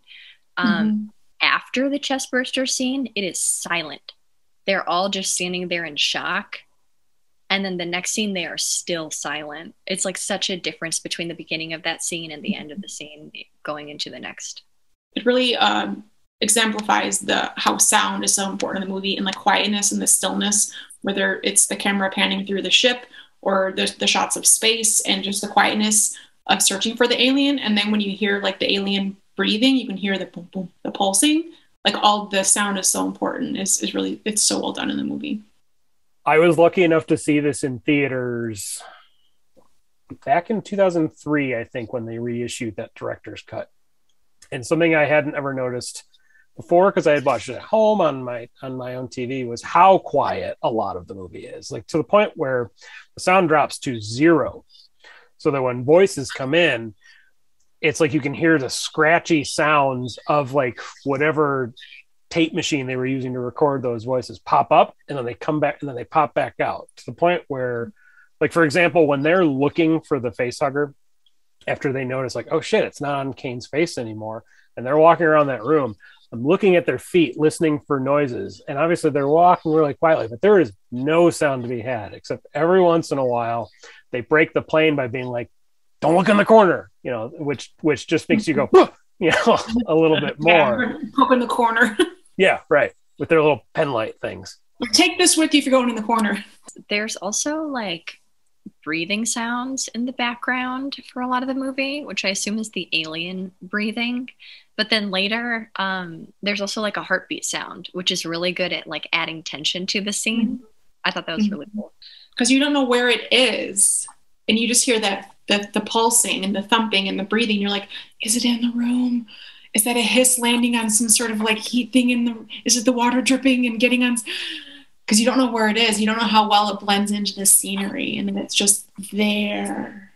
I think the best use of all of that is the next sequence with with um, Tom Skerritt in the air vents, where mm-hmm. you have all these big tactile. First of all, that whole sequence is just terrifying in general. It's dark. It's like the only light you can see is either from the tracker or or just directly on him. It's a perfect build of tension because you have all these tactile sounds of like the vents closing. You have the thumping in the in the vents themselves which is just like is that him that's doing that? Is it the alien that's doing that? And then like the motion tracker sounding like it sounds it sounds like vital signs mm-hmm. which with the with the breathing noises with all the thumping like having this like beep beep beep it raises your anxiety to a point where it's like it's almost too much um, which mm-hmm. which makes it like my, my, favorite part of that. And also in that like veronica cartwright's character is a mess. She is just she's trying to describe it to him but you can hear that she's like on the verge of freaking the yeah. fuck out. She's you know, again she's the audience. She's you. In your head you're just like oh fuck i don't know where it is either. And then the alien jazz hands I laughed so hard at that part. I'd never seen that before. And he's like, I'm home. what? I'm sure it was scary to to people when they first saw it. It was still I'm sure it was scary to me when I saw it as a kid, but now I can't help but just notice it going, you know, with its arms fully extended. its little fingers out. I do love the like weird electrical um, thing that happens right after that like he reaches out and then it like powers down or something. It's like bzz. the visuals of that and the sound I thought were really cool. Yeah, like the screech and the feedback, and then just mm-hmm. them trying to figure out what happened, and yeah. That was another moment that reminded me of like found footage or something. I felt like Veronica Cartwright that entire scene. I was just like, what are you doing? Why is he alone? Why doesn't he have a weapon? He has like a flashlight and to the flamethrower. Flamethrower. Flamethrower. Yeah. Yep. Lighting his way. Because mm-hmm. as he was going through the doors, he was like blasting it with. Yeah. One of my notes is, uh, wow, people in the 80s were just really blasé about having flamethrowers in enclosed space. Is that and the thing? They're just like, it's like, yo, you, there's a ceiling right there. You're you're gonna die. Setting something on fire in a spaceship is just a bad idea. Poor poor Dallas. Dallas is toast. He go bye bye. Dallas went bye bye. We don't know where he went, but he went. I really love the backwards scene where the camera goes backwards um, when the sirens start going off. I thought that was really cool. And then also the hatch opens and closes in that like circular way. I've never seen that before. I thought it was really cool. I really liked how when Tom Skerritt as Dallas disappears, you don't know there's you don't there's no murder blood scene. He's just he's gone, and then um, Yaphet's character Parker yells, "No blood, no Dallas," and I just thought that was amazing because you know something horrible. It just leaves the viewer wondering, like, well, how is it killing and what is what happened to him? And is he like wrapped up and is he in a pod in some enclosure somewhere? Is he there to like host more aliens? Like you don't know. You just know that he's gone and is probably dead. And so i just really like the simplicity of like that again that unknown. You just know something terrible's happened. Well and we couldn't have fathomed if we if we had seen this movie truly in a vacuum we couldn't have fathomed him being put in a hive or something like that because that didn't even exist when this movie mm-hmm. came out. It was just eh, he's just gone but yeah. here's another difference with the director's cut. so they did shoot a whole sequence, and it's in the director's cut, and it's the biggest difference. Um, and it comes much later when when Ripley is self-destructing the ship. She finds him cocooned in the bottom of like somewhere down in the bottom of the ship through a series of ladders. He's down there just moaning and saying, "Kill me." and also um, Tom. Uh, uh, also, Harry Dean Stanton's character is is shown to be cocooned up there too, but they didn't like the way that it looked. They didn't think that it looked finished, and they ultimately they just removed it whole stop mm-hmm. from um, from the version that went that went uh, out to theaters. So. Huh but you know it makes sense i mean that is a huge difference but it also it makes sense because what is the alien's ultimate goal you know what i mean if it needs more hosts to create more aliens it makes sense that they would be cocooned somewhere right and then because later on you do see the kill scene when he kills um parker and then lambert you see mm-hmm. that you see that they're dead bodies and you see that kill scene but you don't see what happens later where the alien is putting like what is the goal right you know if there are there more hosts. But again, that, again, that's knowledge that I can say in 2020 or in the 2000s or the 90s versus 1979. Like we didn't have that that set up in our in the in the in the film canon at that point. Right. It didn't have all the lore that it has. I don't even think did they even refer to it as a xenomorph in the movie? I don't think they do. Not a single um, So you know. But that could have been fantastic in Alien, though, if we had seen that that would have just taken it over the top of uh, of horror. I think. I know yeah. that for me, seeing that in 2003 in the theater, it's awesome. Like it, it doesn't look bad or unfinished to me that particular sequence, and you, it's readily available and easy to find on YouTube and stuff like that if you want to see it. It looks great, but um, the argument that they had made, and I think Tom Skerritt even made this argument, was that it slowed the pace of the end too much because suddenly you diverted off to do something when she's frantically trying to get from one end of the ship to the other to get out. Yeah, they were just like, there's no time. There's no time because the clock is literally counting down, and she's trying to get to the shuttle, and she can't right. because the alien is in between her.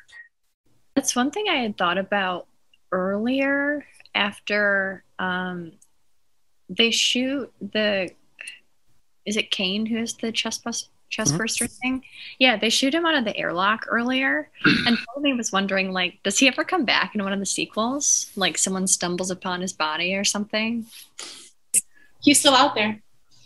He's just flushed down the toilet, essentially. Actually, and when the alien, the alien gets released at the very end, like Sigourney opens up a hatch and the alien is floating in space. Maybe the alien is able and to. And they became friends. Yeah, yeah. Just a misunderstanding. it's his dad, after all. Yeah. or mom or mother. I don't know. Anyway. One thing that was really unclear to me. Um, so the original facehugger dies, but it implants the little baby xenomorph. So, am I supposed to believe that that baby becomes the full xenomorph, or is it another alien on the ship? it's just the one alien that's on the ship. It's like because of there being sequels you know we we now we know because of aliens that there is a queen right? But in alien mm-hmm. in a vacuum it's just this one thing and we have no idea how it how it how the facehuggers come to be. We don't even you know what i mean? Like it's just it's just the one alien that's kind of the end of its life cycle. So it almost makes the cocooning thing not make sense to me either if, if they left that an alien? Because how would it yeah. lay how would it lay those eggs? How would those eggs come yeah. to be?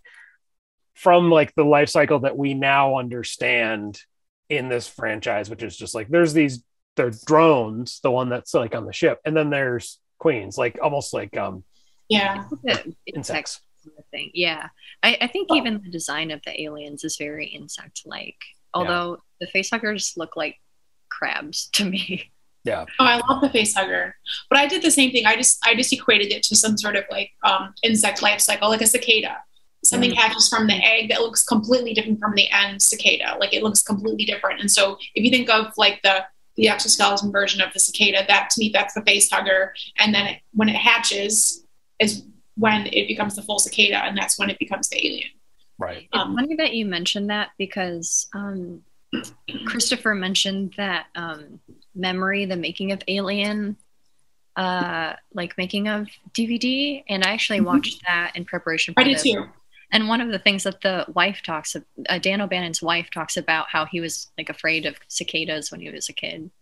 The other thing I couldn't figure out is like, you know, the full xenomorph when it opens its mouth, it has that like secondary mouth that comes out. Is that the baby? And the rest of it grew around it? No, it's just it. No, it just is that way. Even though it's a good point because when we first see it and it goes like you don't ever see a little mouth in there.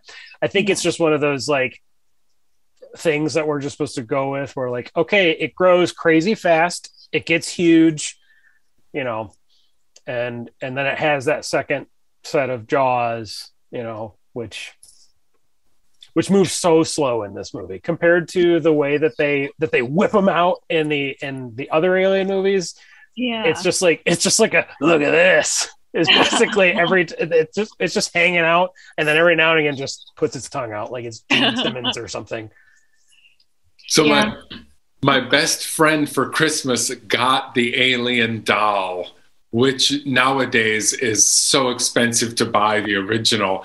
But you there was a lever on the back of its head, and you hit the lever, and the whole jaws shoot out the mouth. Mm-hmm. I mean, it was an awesome, and it was just enormous, you know.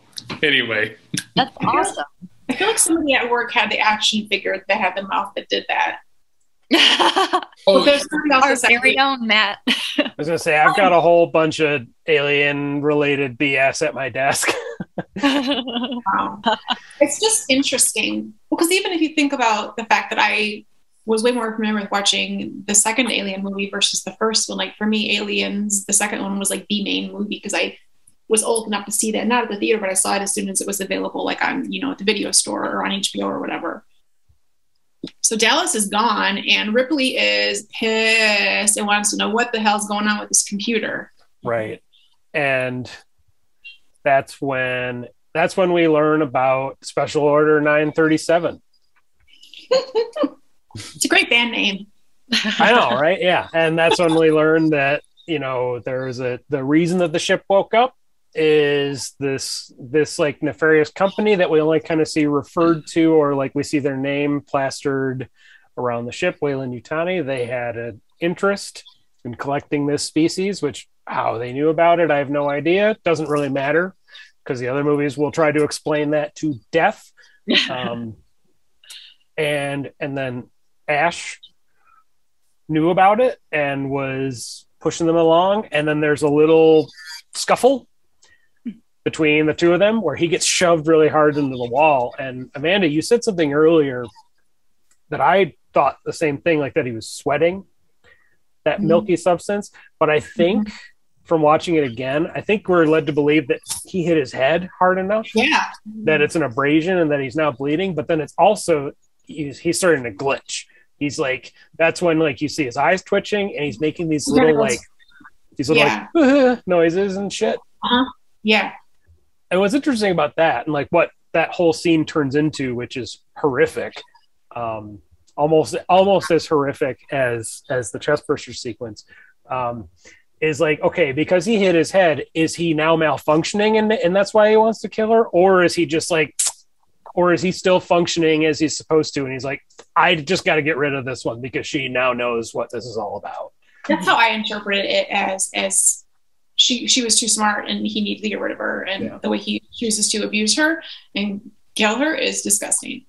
it's so weird and i didn't understand it the first time i saw it i still don't really understand why your instinct is i'm going to try to shove this magazine in her mouth Yeah, I thought about that too. Um, because that magazine in her mouth is not going to kill her, but I think it ties into all of the like very sexual connotations of this movie, like the design of the alien and all of that kind of stuff. I think it's no coincidence that the blood that gets all over all all over Ash, all over all the other characters' faces is white. I think that's like a pretty obvious um, connection there. But then also, I was really confused because I was like, he's obviously trying to kill her, but that's not going to kill her. I think it's just like a very like sexual thing, it's which like was weird and evocative Yeah, Yeah. yeah. And also the there's images of naked women in the background. Background there is Yes. a close-up of her face with this magazine being shoved down her throat. And in the background there's like basically just like porn, Porn. Yeah. images. And i'm like are you really? And i never noticed any of that when i watched this the past several times. But having watched like the one of the behind the scenes things and then watching that scene i noticed the naked im- images in the background. I was like oh that just even like you know force it brings it even further to light what they're actually what's happening I think just the- I think Just- the magazine is like a Playboy or a Penthouse or something like that too. Wow. So it's just like this. It's a it's a terrible little corner of the ship. I don't know whose corner that is, but I was gross. gonna ask whose corner because it can't be Ash's because why would uh, uh, is he that sentient where he wants like you know naked women on the walls of his little area? No. It But can't be in- Ash's. Whose area was it? Harry Dean Stanton. Oh, I hope so. Yeah, I mean, in addition to the obvious, uh, you know, sexual connotation, he's trying to shut her up too, right?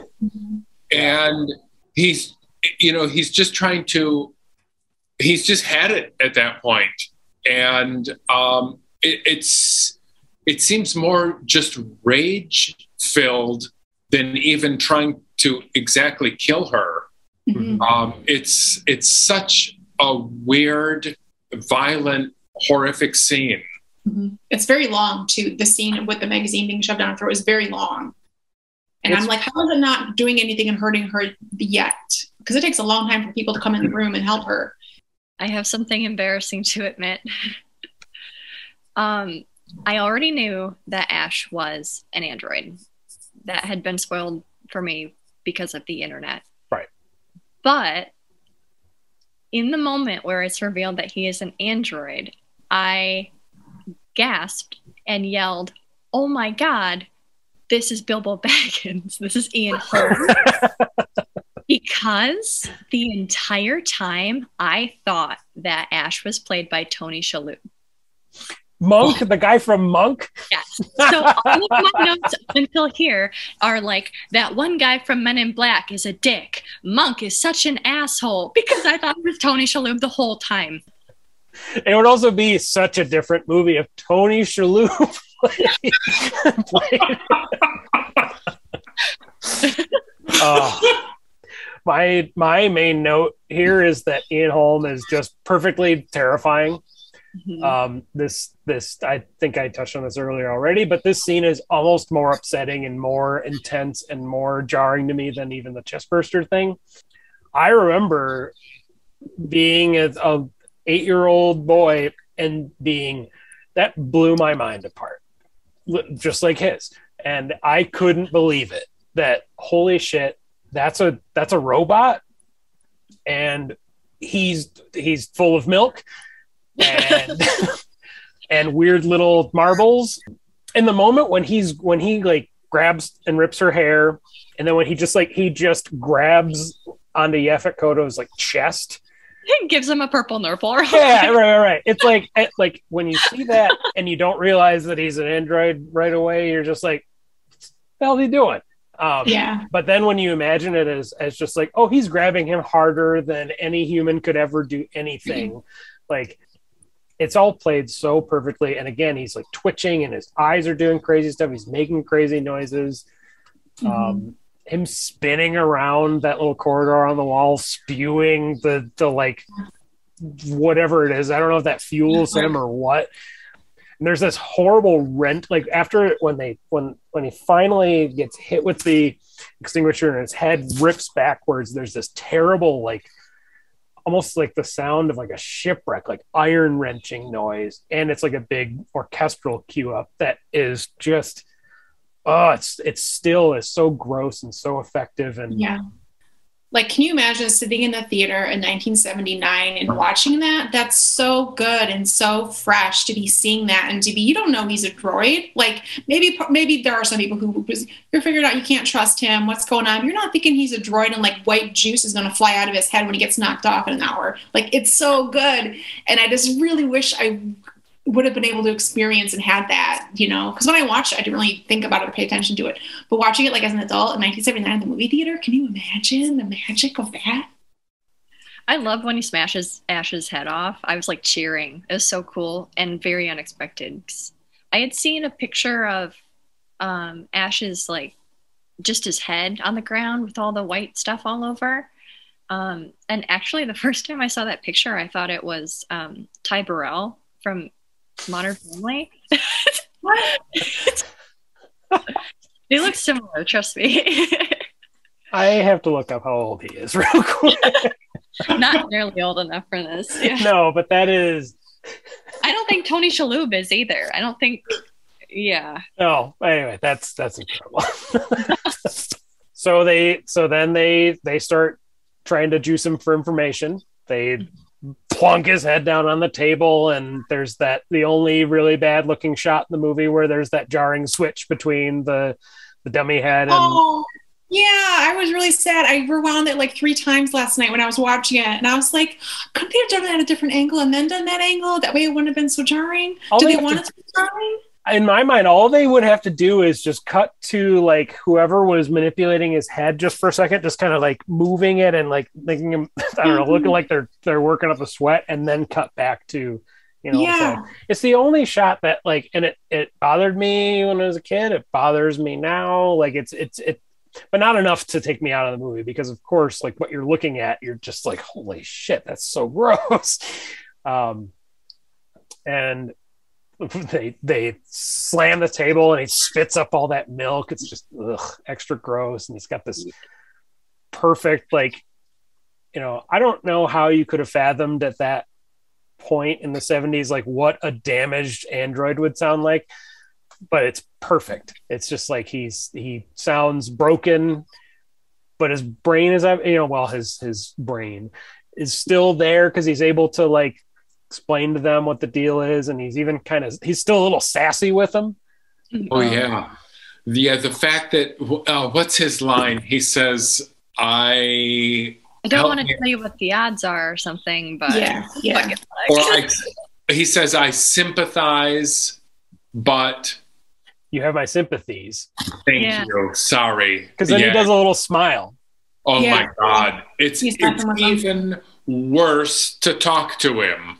Yep. You know.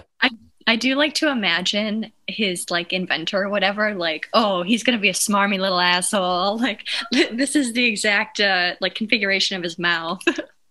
in the canon they do go into like the people that made him and like what the difference between his model is versus bishop and aliens and this and that but of course none of, none of it matters because in the it's Yeah. really you just have this is the secret villain of the movie the alien is a villain but ash is the real villain because he put them in this situation and now they just have this thing in the ship that doesn't have any specific motivations other than get mm-hmm. stuck in walls and stuff yeah. Yeah, it's a really great instance too of a robot or an android taking on so many human qualities and looking so real and behaving so real. I thought that that was very scary. Once you know that he's a he was a, an android, a robot the whole time, that just makes it just makes it to me it made it even more scary. But like, whoa, like what Yeah. else is not real that could be real? So it's a really well done like a robot that's so humanized and like with the skin and the textures and like how he behaves and the smile at the end. I'm like, what? That's Yeah. that's good good programming. yep yeah I was really surprised by how much of an active antagonist he is the whole time. So I didn't really hmm. know anything about him besides he is an android. But just constantly throughout the movie, he's pushing them in a certain direction or like convincing them that they should do something. He's, yeah, I was really surprised on how much of an influence he had over the plot of the movie. Who? Yeah. Who's the real villain in horror movies? It's. I think it's rarely the obvious person who gets top billing. It's not the alien exactly. It's each other. And in this case, maybe it's not exactly the android, but it was probably the the uh, company, the corporation, who Mhm. wants the money and they want to do something uh, to get the alien back Yeah. to Earth. It's and that's the other thing I find fascinating about horror movies. It's you know it says something very deep, I think, about humanity and who the real villain is. Yeah, because really, he- it's like Ash is like the motivations of this larger company. So even though he's an android, he does represent the motivations of Mhm. of shitty humans. Right. You know? and he has impulses and characteristics of shitty humans. I really love the shot where Ripley's finding everything out in the like mother room, and then she leans back and he's right behind her, or like right to the side, but Mhm. from the camera angle, it's like he's right behind her. That was really cool. I've never seen that before. When he instantly tries to manipulate her in that moment, he's like, there's a perfectly good explanation for all of this. And this is after she's just read Crew Expendable, you know, Right. Which is just Which I oof. think adds to his motivation in killing her later. Like she's expendable, so just get rid of her because she's gonna fuck this whole thing up. she's too smart. hmm I really liked. uh Is it the mother screen? There's some computer screen where it's like a black screen and green text. Yep. It reminded me of The Matrix. There were like so many things where I'm like, oh, this this led to this movie later. This led to this movie later. Yeah. Most of them were about the expanse, but there were other little sci-fi things all over the place. It's hard not to be influenced or like no because for things that don't exist and then once somebody creates it and puts it in a movie or in a book you're like oh that's how that is. That's how it is in real life. And then when you're creating your own piece it's hard not to to have that visual or that idea of how something might actually work you know? It's hard to erase that.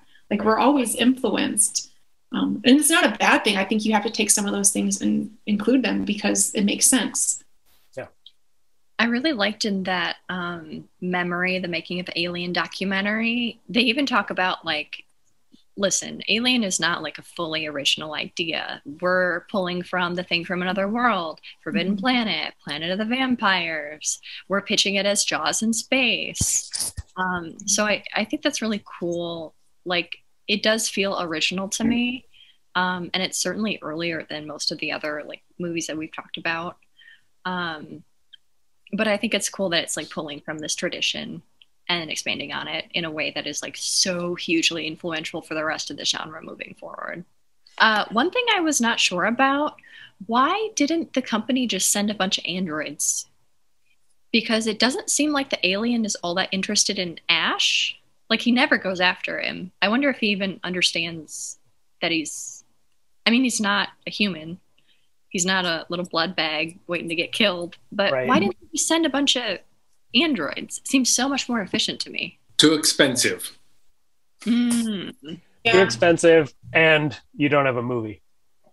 But Ah, no, but uh, but um, you know the other th- the other to that point, I don't think there's a there's at no point is Ian Holm looking for the alien. You know they they always they get themselves into trouble when they go looking for the fucking thing. It might have just wanted to be left alone. You know, for all we know. I don't remember where I had heard somebody make that same point where it's just like all these people going all this trouble over so many movies of like, let's go touch this alien. Why don't they send androids? It's like, don't know because because the company's just that evil. if I was running this company, we would do things very differently. Well, don't worry. They tell you all about where the company came from in a really stupid way in Prometheus and Alien Covenant. So, No. Actually, maybe they really did need a human host. Oh. Uh, Maybe Oh, 'cause- that's why you cannot send a team of androids. Exactly. I feel stupid for not thinking of that. Oh, I, I just thought of it. Yeah. Well, I, I mean, it makes and it makes now that makes perfect sense if you consider the other movies Yep. for sure because they go into it what its life cycle is, and they even go as far later on in the franchise to just be like, when it comes out of this animal, it's different, you know. So, but could the company have known that? I don't know. But again, those are those unknowns that like they're fun to talk about like this. But then some asshole in Los Angeles tries to explain it and it and it just kind of ruins it. Yeah, and those are things we don't have to know that. But also, if you think like if the ship is in space and it's doing whatever its original mission, whatever it was there for, it makes sense that it's the humans who are normally doing that job. Like if it's basically just like um like a semi truck in space doing mechanical stuff, it just makes sense that those would be humans doing their normal. They're humans going to work, and that's their job. And then if you want to sabotage the mission by putting the droid on there and having an alternate route and having them have to wake up and go to this moon and find an alien, um, you need the humans to be that piece. Well, that also becomes like a little bit of like a, a I I don't know that this was the intention, but it could be like a little bit of a social commentary. It's just like these particular people, they don't fucking matter. You know, we send them out. Like no one's gonna miss the these you know people that are bringing a, a cab of ore back to Earth. Like, Yeah. Who cares? You know, Somebody's gonna miss Harry Dean in his Hawaiian shirt and his ball cap that he drinks disgusting like water off of. Ugh, I'm not. and not. his weird little cigarettes. They all smoke those weird little cigarettes. is, Future Harry, cigarettes. Harry Dean's gone. is he, So a lot what- of people. or is he a musician or something? Or how do you guys know him? Harry Dean Stanton, Yeah. character actor. He's in fucking mm-hmm. everything. He's been in Oh. like hundreds of. He's a. He's been in everything. Hmm. um, and he's basically himself most of the time. He just, but he's also so good. He's just amazing. There's a really good documentary about him. Yeah. Yeah. And he's just, it's like, I knew him from like the Green Mile and now Pretty in Pink. Pretty in. Pink was probably the first time I, I saw him. And Pretty in Pink came out when Aliens, the second one came out. Um, he plays Molly Ringwald's dad in that, anyways. But he, he ends up in everything, and he's in a bunch of David Lynch stuff. That's how I became even more familiar with him in the '90s. Was like, and uh, like him being such good friends with David Lynch. Escape from New York. Mm-hmm. Oh yeah, yeah, yeah. That's good. So he's just, yeah, he just, he pops up kind of as like that guy. He plays that guy, and nobody plays that guy better than him. Like, he's just, yeah, he's synonymous with a lot of my early movie watching stuff. Huh. Yeah. I'm- He just and- died a couple years ago. He was 91 when he died. Yeah. I was getting freaked out reading that, um, with I think one exception, the order that the characters die in this movie is the order that they died in real life. Really? This is something that you would figure out, Allison. This is totally an Allison. I made a, a very involved spreadsheet. I was going to say you've got a spreadsheet. I, this is awesome. Yes, that's that's an interesting fact. I because I didn't. I thought it was very bold, and I guess it makes sense to get rid of Skerritt first, since he was sort of the leader. Because that sets up Ripley as being the one who's going to be taking charge. And I was just sad to see Harry Dean go because Harry Dean's Harry Dean. Yeah. Mhm. So speaking of deaths, so now we have our and now we have our like, all right, fuck it, we got to get off this ship moment, where you essentially have Ripley takes the lead, tells everybody what to do, and they actually start listening to her for a change. Mm-hmm. Um, and you have Yaphet Kotto and Veronica Cartwright are off in some weird room grabbing tubes. What were they supposed to be accomplishing? my guess is that they were gathering supplies. I don't remember exactly what it is because in that moment you're I don't even remember what the lines are there. As many times. It was something seen. for the shuttle. It had. To do, I read something about it last night. It had something to do with the shuttle. I have a note around this point that made me laugh, which was Space Cat Carrier. So there's a special Yeah. little uh, Weyland-Yutani issued cat carrier thing. Um, I also, a general note about Jones, he's a real prick for diving out of every corner that he that he's in and scaring everybody. You're getting scared. You're like, wow, things are coming. Things are creep crawling. Things are coming out. Right. But it's not the alien yet because that's a very slow trickle. We don't get to see that full alien. It takes so long, and the unknown is much scarier than things you've already seen. Yeah. The unseen is way scarier. Well, and part of what makes these deaths, even like the deaths of Lambert, Lambert specifically, her death is like you don't see it, but it is implied to be somehow worse mm-hmm. because you see the tail kind of go up her leg, and it's like although we don't, you know, at no other point in the franchise are we given any indication that the aliens do anything sexual. There is something like violent, There is and terrible vibe. about hers. There's Because a it- vibe. Yeah, and like the way that you know something that I that I paid attention to on this watch is Ripley is hearing all of that happen. And it's like, is that over a headset or is that over a loudspeaker thing? Which is This interesting because why don't they all have like headphones in a communication away? Like when they're off hunting for the cat individually, as more than one person does, it'd be a way to like, hey, I'm, I'm here for the cat and I'm in a room and there's a hiss and maybe, you know what I mean? Like it's in this room now. especially since we see a headset thing used earlier when Ripley's communicating with the guys down below when they're trying to fix the ship. One random thing that I thought about a lot during this scene is um, I have to assume it's like a homage to this, but um, in one of the last Hunger Games movies, there's a scene where, like, in they're in this like big underground bunker and they're about to get bombed. And so um, Katniss realizes that her sister went back for the fucking cat, and so she has to go find her sister and rescue the cat. And I think it's even like a I don't know cat like um, types or whatever, but it's an orange cat, so it looks very similar too. Tabby? But- Is that a tabby? Uh, is that what that is? I'm a dog person. I have no idea. Some sort of a cat. But I did read that there there were like four or five different identical cats that played Jones. Oh yeah. Mhm. Yeah, and the the fun fact with that is that Ripley or uh, sorry, Sigourney Weaver thought that she was having an allergic reaction to one of them, and she was terrified because she was just like, "Oh shit, they're gonna have to find a new cat." But she was having a reaction to the glycerin that they put on her to make her look like she was sweaty. So so she had to make her own sweat from there on out. I remember what they what they used in place of it, but they they figured something out because movie magic. They just use some of Harry Dean Stanton's sweat. to put on. It's a stop dripping from the ceiling. He's not It's in using his it. little. it's in his trucker cap. They just scoop it out the trucker trucker cap and just like Yeah. dust it out for me. I was I was living in a small town in the Czech Republic with a good friend of mine, and this was pre-internet days, and we could not remember the name of the cat from Alien. and there's no one to ask because it's all Czech people who haven't even seen this movie. We spent the entire day trying to remember it. And all of a sudden in the evening, my friend yells, Jonesy!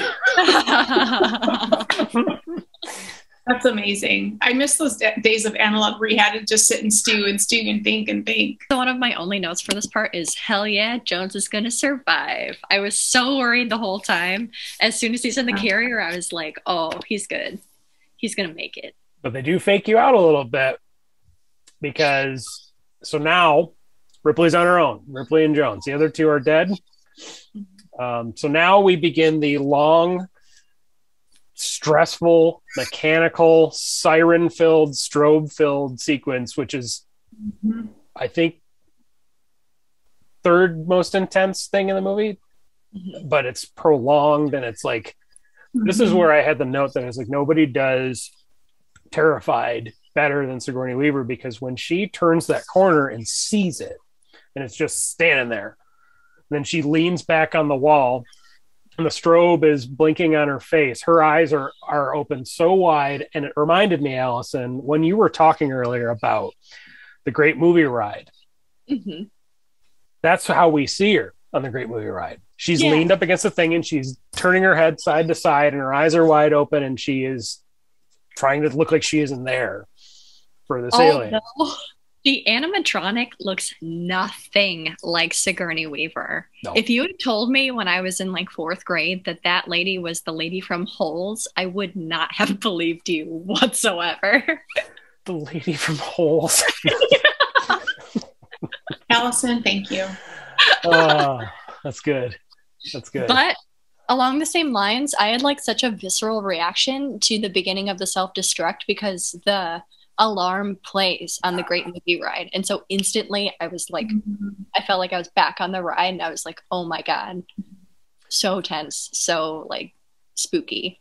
Even in watching the movie, you felt like you were there and there was an alarm. And you're like, oh, it's counting down. You're like, come on, you're just rooting for her to finish the job and get to the shuttle and get off. Like, you don't realize that she needs to kill the alien. You just think she's trying to get to the shuttle to escape, which is essentially what happens. And then she has to kill the alien. But it's just she can't get past the aliens. She's on a mission to kill. Well, she goes through this whole big I, one of my favorite practical things in the movie is when she's arming the thing how it has like a hundred little steps and like that Mhm. weird little key of all those little images that she kind of brings her finger across and she's like how the fuck could you have understood what that meant and like You got to read it. Yeah. yeah so but she's going through and she's got she's pulling those tubes up it's just this like perfect like you can't even fathom what this device is but you just know that it turns the whole ship into a bomb essentially It has the all important, like, okay, you have five minutes before you can go back on this. Basically, what's left of her being on that actual ship is just stressful and intense. And she gets a chance to talk shit to, to Mother finally when she goes through the even more stressful thing of trying to reverse the whole process and she's like pushing the tube down to try to make it go faster and stuff. It's just this perfect tactile yeah. stuff. I love also in that scene the personification of mother because um she yells out you bitch! Like she's blaming mother for not being able to shut down the system. I just right. thought that was great. But how many other movies have you ever seen where there's a countdown where the hero fails? Like exactly. ever have you ever seen a 10, 9, 8, and they're rushing and they're doing something and pressing a bunch of buttons and it still doesn't work? Doesn't it's make like, it. Oh my God. Yeah. Like you're, you're so crestfallen and you feel so hopeless at that point. It's like, oh, now what do I do? Now you just get the fuck out of there. But God damn it, I forgot the cat again. exactly. I love it. She's got to go get the cat we get that nice little moment where the alien's just kind of looking at the cat.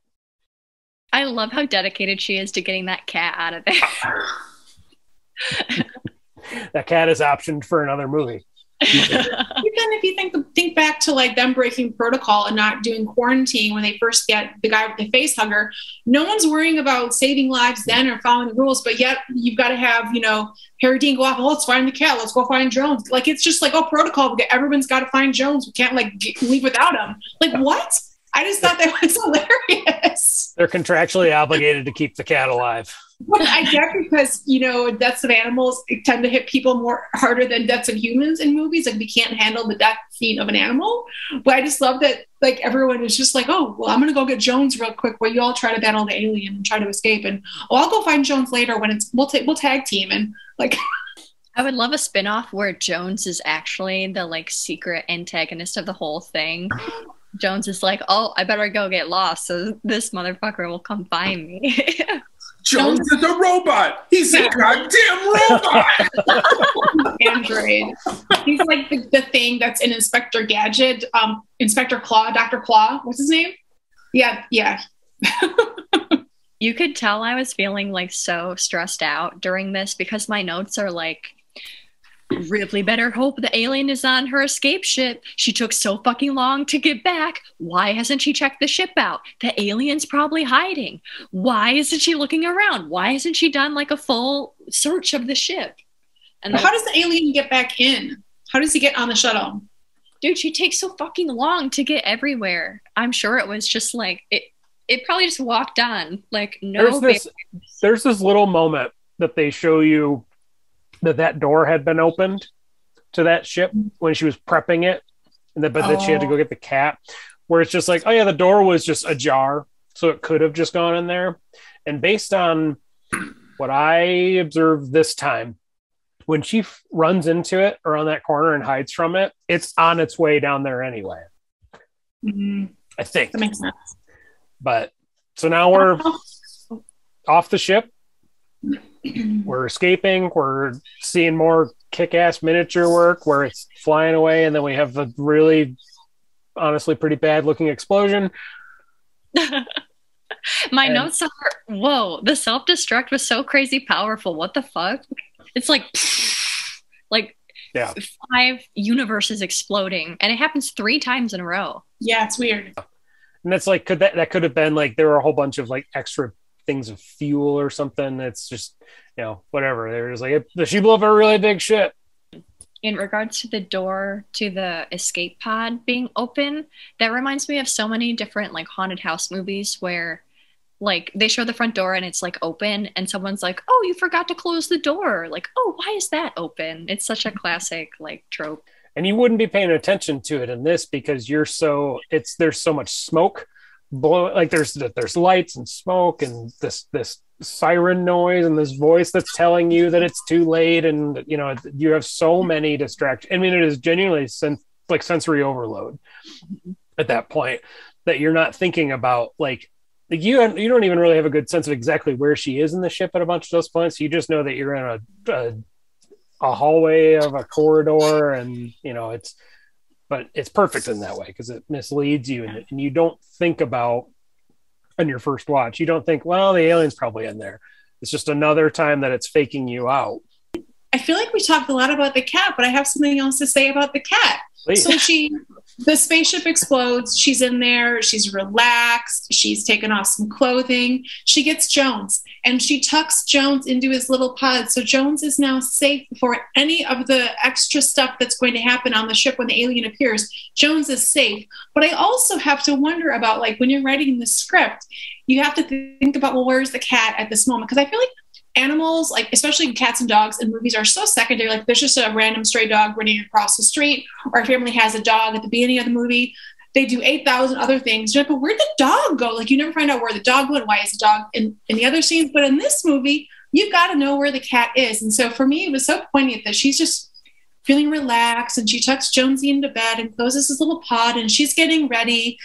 He's just taken care of because you don't got to worry about him when the alien appears and him getting sucked out the hole. Well, Anyway. the other thing I think about is um, like in terms of the story, you almost have to put him away because we saw in the scene where Harry Dean Stanton is looking for him that the cat like hisses when the Mhm. alien shows Yep. up. So it would have been an early.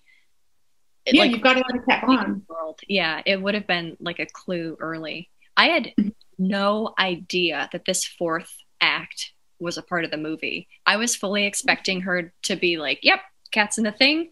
This is Ripley signing off, last survivor of the Nostromo or whatever." So then when it's hand shot out, I was like, "I knew it was in the ship. I knew it was in the ship. Why didn't you check the shit out?" Hey, Sigourney, pull up your underwear. Oh my God. Yeah. Tiniest. There was the thing, I think it was for Aliens, the second one. There's um the movies that made us where they talk about aliens and Sigourney mentions the underwear and how tiny they were. Like, how is that comfortable underneath these giant spacesuits? You literally have like this teeny little, like almost a thong on. I'm like, how?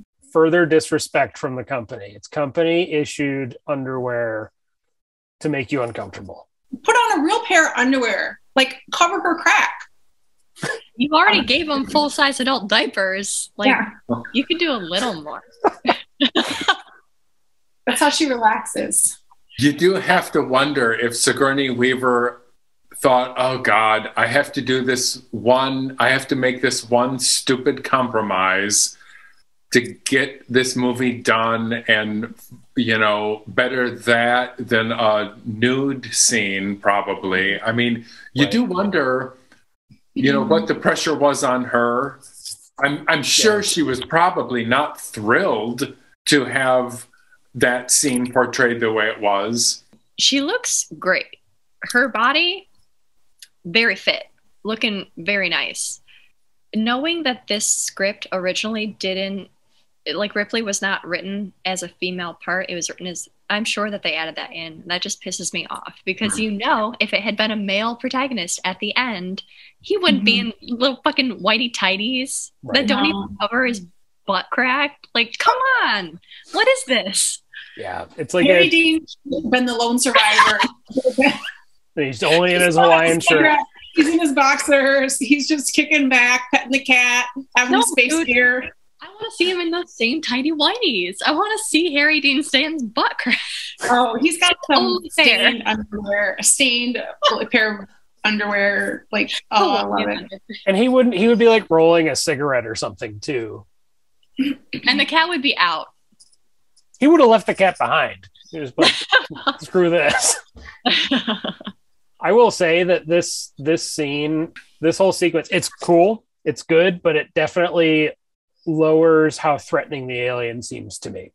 yes, Um, absolutely. It's maybe my biggest criticism of this movie is how this scene plays out Mhm. because it's there's not a whole lot of tension because you're like there it fucking is and then it's just hanging out in the wall for some reason and it's just moving its little fingers around and and so it, it stops being this like thing that feels like a apex predator and now it's just like it's tired. And maybe it is tired. It's had a it had a big day of killing all kinds of people. We it hasn't eaten anything as far as we know because we don't know what it eats. But it's just hanging out in that wall in there and then then she smokes it out with with the whatever the hell that mechanism Yeah, is on the ship. Yeah. And for what? And then she suits up, and that's pretty cool. Blows it out of the ship, has her has her sign off. I th- I think for me, it's like th- this is. I think that Aliens did a better job of what, like it took this sequence and improved it. What with the mech suit and the queen and everything, I think it's a better realization of this. Um, it's, the, it's just the only scene in the movie that just doesn't perfectly work for me. And by the by the time you're done, you're like, oh, okay. I don't know. I don't know why they needed to do that necessarily. I liked the hook of it. Like I said, I wasn't expecting it whatsoever. So that was actually one of the most surprising parts of the movie is I had not had that part of the movie spoiled for me whatsoever. Um, one of my notes is, is she going outside? Because that suit is not going to protect her. We Mhm. already saw the face hugger just go straight through the glass of that other guy's suit. So I wonder if it was like more of a vulnerability thing. Like she doesn't want to fight this Mhm. thing in her underwear. Yeah. you also see the alien for more than you have the entire runtime of the movie, which I do think sort of detracts from the scariness of it. And then when it gets blown out the airlock and when it's like hanging on, like surfing outside the ship, it, it looks like a guy. It looks like a really tall man in a rubber suit, which, yeah, it did kill it a little It bit for me. because you do see so much. I feel like they could have shot it differently where you would have been able to see just pieces of it instead of seeing the whole because it looked like a little action figure, like just like floating in space where it would have been more for me would have been more fitting if you would have not seen that much of it because you saw so few of it through the entire film, which you got used to and you were piece piecing together what you thought it looked like. Yeah. She has time to like hum a little song to herself and and like start this little process on the to open this door and load this little gun and then she still is scared by it where she like looks over she's like oh shit it's there's the thing that i definitely Yeah. already scared out of the wall it's just it's just like it, it feels clunky to me but Uh, there was one thing that I read where um, apparently Ridley Scott had wanted the alien to bite off Ripley's head and then make the final log entry in her voice. But the producers vetoed this idea as they believed that the alien should die at the end of the film. that would huh Imagine if If That- I'm going to imagine it at all, I'm going to imagine the alien also in those little tiny whiteys. oh, I've see, I've gone right to Jones in underwear. Alien's already naked.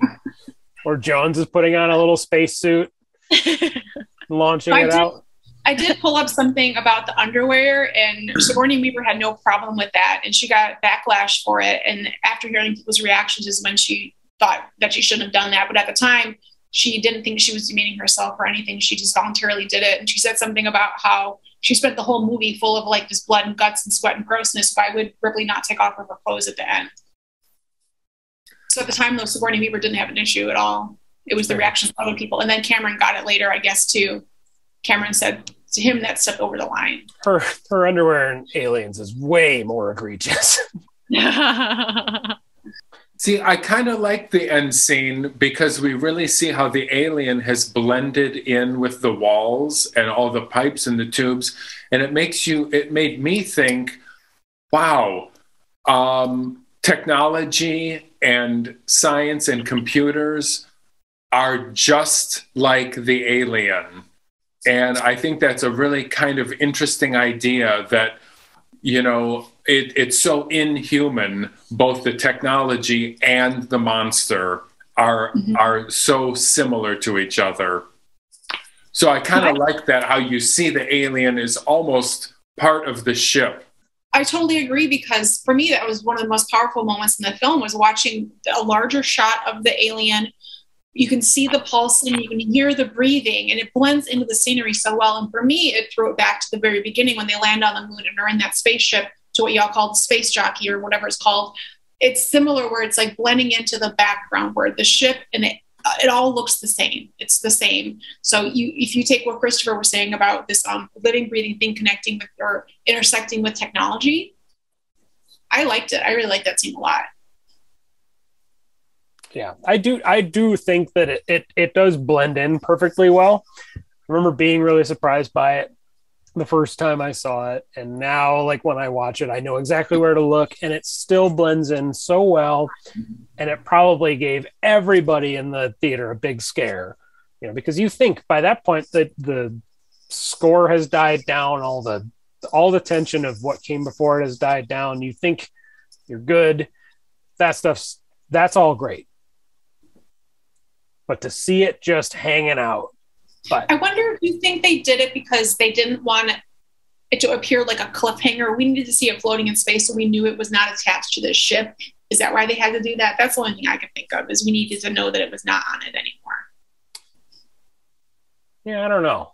It's it's uh it's like you could have made that I guess they probably had some limitations with how large that actual set piece was where it's just like well we can't have it run around the room because it can run about four feet this way and four feet this way mm-hmm. but probably just limitation stuff also i think that based on just the way that the, the guy that was in that suit you know i think that he probably had probably pretty limited mobility and what he could do in it you also the difference between this movie and the other ones is it does not move fast at any mm. point ever. It's always moving really slow. In fact, that, that there there's like that.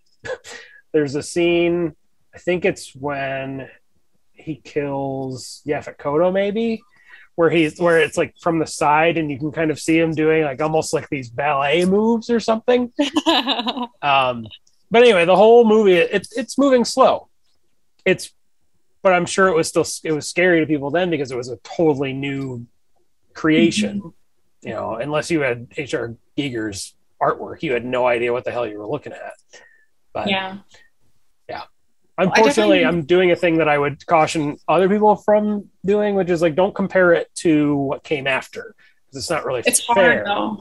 So. I think it is harder to watch so, just because knowing seeing other films that this movie inspired that came later and also as a viewer or a person who's been like in the world you've seen all those things like when allison you're watching it for the first time you've seen all these pieces before you're putting them together so to watch the film for the first time it's hard to not it's hard to discount all that information. But i also think it's been super interesting though to to sit down and, and think about that as we're watching the movie yesterday in you know 2022 versus like when it came out in 1979 I, and having all of the history and the films that we've seen and can compare things to um, it's been really fun. I think it's been fun to, to pick it apart and kind of look at it with fresh eyes but also think about what it inspired or things that it's done. Because that's part of the film history with this movie is what it was able to do for for technology and, and future filmmakers and future like sci-fi slash horror films. I think that's really important to take into consideration because it, it left a huge footprint um, on the future of film. And the chest burster scene is like one of the best scenes um, in history of film as we've said. That was one of the biggest things i noticed watching this for a first time is for me it was like almost an exercise in realizing how enmeshed in the in pop culture it is. Like mm-hmm. I knew so many of the plot points. I've seen this picture from this thing, or you know, the new movie came out, so this was spoiled for me. And I think that's like partially a product of just how the internet is. Like it's impossible mm-hmm. not to use the internet a lot and avoid spoilers of any kind. It's just impossible to do. Mm-hmm. Um, but I thought this movie was still really fun. I'm super glad that you picked it, Matt, because I feel like there was just this gaping hole in my like repertoire almost. Like this is such an iconic movie. It's such a classic movie and such an important movie in terms of sci-fi, in terms of horror, in terms of just film in general. And to have not seen that, like I just thought it was like so rewarding and like super fun. So thank you. Of course. I remember being really surprised when you told me you had never seen it. I would say that ranking this movie, it is a very easy 10 out of 10 for me. Um, I don't think that's a controversial thing at all because uh, this is, again, this is an important movie that people love. Um, in terms of like how much it scares me, because that's, you know, what scares us and all that. If I were to go to scare meter rating, I would, and let's for no particular reason give that out of five, I would say four out of five. Mm. Um, in the sense that like I can't quantify for you what five out of five scary would be, other than I don't know, falling off a building in real time, maybe. um, you know, that would be really scary. But for me, it's like there are so many things in this movie that are scary and intense, and you know, but it's not enough that I'm like in abject fear the entire time. And part of that Mhm. I'm desensitized to all horror of any kind. And when I'm watching this movie, I'm just transfixed at how awesome the set pieces are. So even at points, there are certain points where I may be supposed to be scared as a pedestrian, but I'm going, look how cool that computer is, or look how cool that matte painting is. Um, but it's definitely scarier than, you know, than most of the most of the other movies in its franchise and most of the other movies that I kind of have in mind for this podcast. So 10 out of 10 for the movie, four out of five for how much it scares me. I'll go next. I actually totally agree, Matt. Uh, I think the movie really transcends its 1979 creation date. I also give it a 10 out of 10 and a 4 out of 5 on the scare meter. My rating, um, well, I don't rate on a 10 out of 10 out of 10. I don't rate on a 10 point scale. I rate on a five point scale. So for me to say it's 10 out of 10 seems really weird, but I do rate it out of, I rated all of the points out of all of the points. So it's definitely 10 out of 10, five out of five for me. Great movie. I think it's a perfect film. It's just, it's just good. Um, for the scare meter, I think part of my rating now in 2022 as a grown person who's seen it several times, I don't find it very scary. Um, I love the suspense and the darkness, and there is that sense of like foreboding and the unknown, which I think is amazing. Um, you're not waiting for those jump scares, you're just waiting for something to be revealed. I'll give it a three out of five. I think there's enough scary elements. I will say that after watching this movie last night and finishing it at 11:30, I had a nightmare, and I don't wake up in the middle of the night screaming. I had a straight on nightmare last night that something was getting me, and I woke up and screamed and thought about my neighbor who's on the other side of the wall in my apartment. So something in the movie triggered in my brain as to for me feeling a fear of something coming into my area. So I will say that, but I still give it a three out of five. I think my nightmare was scarier than the movie, honestly. Um, but five out of five, perfect movie, and then three out of five for scare meter. Ridley Scott would take credit for your nightmare. um, yeah, I'm gonna actually give the same rating as you did, Amanda. 10 out of 10. I think it's such a good movie. Um, classic for a reason and like has led to so many other great things in other movies that I love. Um, and then in terms of scares, I'm also gonna go with three out of five. I so many times during my watch, I just really wished that I could erase what I knew about the Mhm. movie going into it. And the other thing I thought about a lot is I wish I could see it in theaters because overall I would rate it three out of five. It had really great tension in a lot of scenes, but I wasn't personally scared by it. With this movie too it's hard because it came out so long ago and i've seen scraps of it as a kid. And if you watch aliens 2 before you even seen alien like if i'm a 10 year old like what scares me at 10 if i'm watching half the movie because it's on in the room you know what i mean? It's different than watching it today as like a being in the theater and watching a brand new like in 1979 the movie theater this like th- this would have been a five out of five. You know what i mean? I would as an adult. in that theater. yeah. But now I'm like, eh, because Yeah. I wasn't afraid, you know. Right.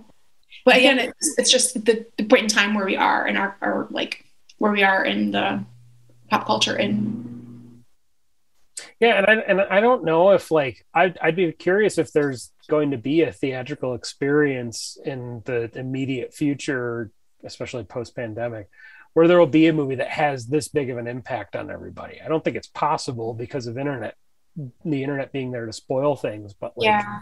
you know, I think the last like really visceral theater experience I had that made me feel like uneasy or uncomfortable or scared was was Midsommar Oh yeah. um i think it, that's one of the most i i can't wait to see whatever that director does next um you know and and when you watch like the the the part of the the documentary that i sent you guys the link to where they get to what the audience reactions were in 1979 it's like people were leaving the theater. People were throwing up in the bathrooms. People were like, you know, it was like people were freaking out and like they were talking about people who had like it took them four times to watch the movie before they even saw the thing burst through Kane's chest because they were just like they couldn't look at it because it seemed too real and like you know that's that's that's an that's an enviable feeling. I wish that movies did that to me. You know, like I'm I jealous. yeah, I'm super jealous of that. Or if you think about something like Exorcist, like Oh. there's so many movies who came out that long ago who were just like groundbreaking and so new and things that you didn't expect. You know, Yeah. and I feel like now we've there's still there's still a lot of ways where movies can be scary and fresh or present us things that we would not have expected. That is still happening in cinema across the board, all genres. But for this kind of like for especially for scary films or dark films or like horror sci-fi, it's those elements of yeah, it's just magic. And if you consider like special effects and things like that. Yeah. Yeah. So we did a good job of rating it though, or ranking our scares based on like our information from today and considering what we did in the 80s versus now. And Yeah. Oh yeah. And I mean I, I think that I probably would have said the same numbers that I did today that I, I would have said those when I was eight years old too. Because it was like it scared me definitely when I was a kid. Didn't scare me as much as aliens did um when I was a kid. But yeah. Yeah. Awesome. Well, we definitely all really liked it. So if you like what you heard today and you want to let us know, you can email us at whatscaresus at aadl.org, spelled exactly like it sounds. I'd like to thank all of you for joining us. This has been What Scares Us.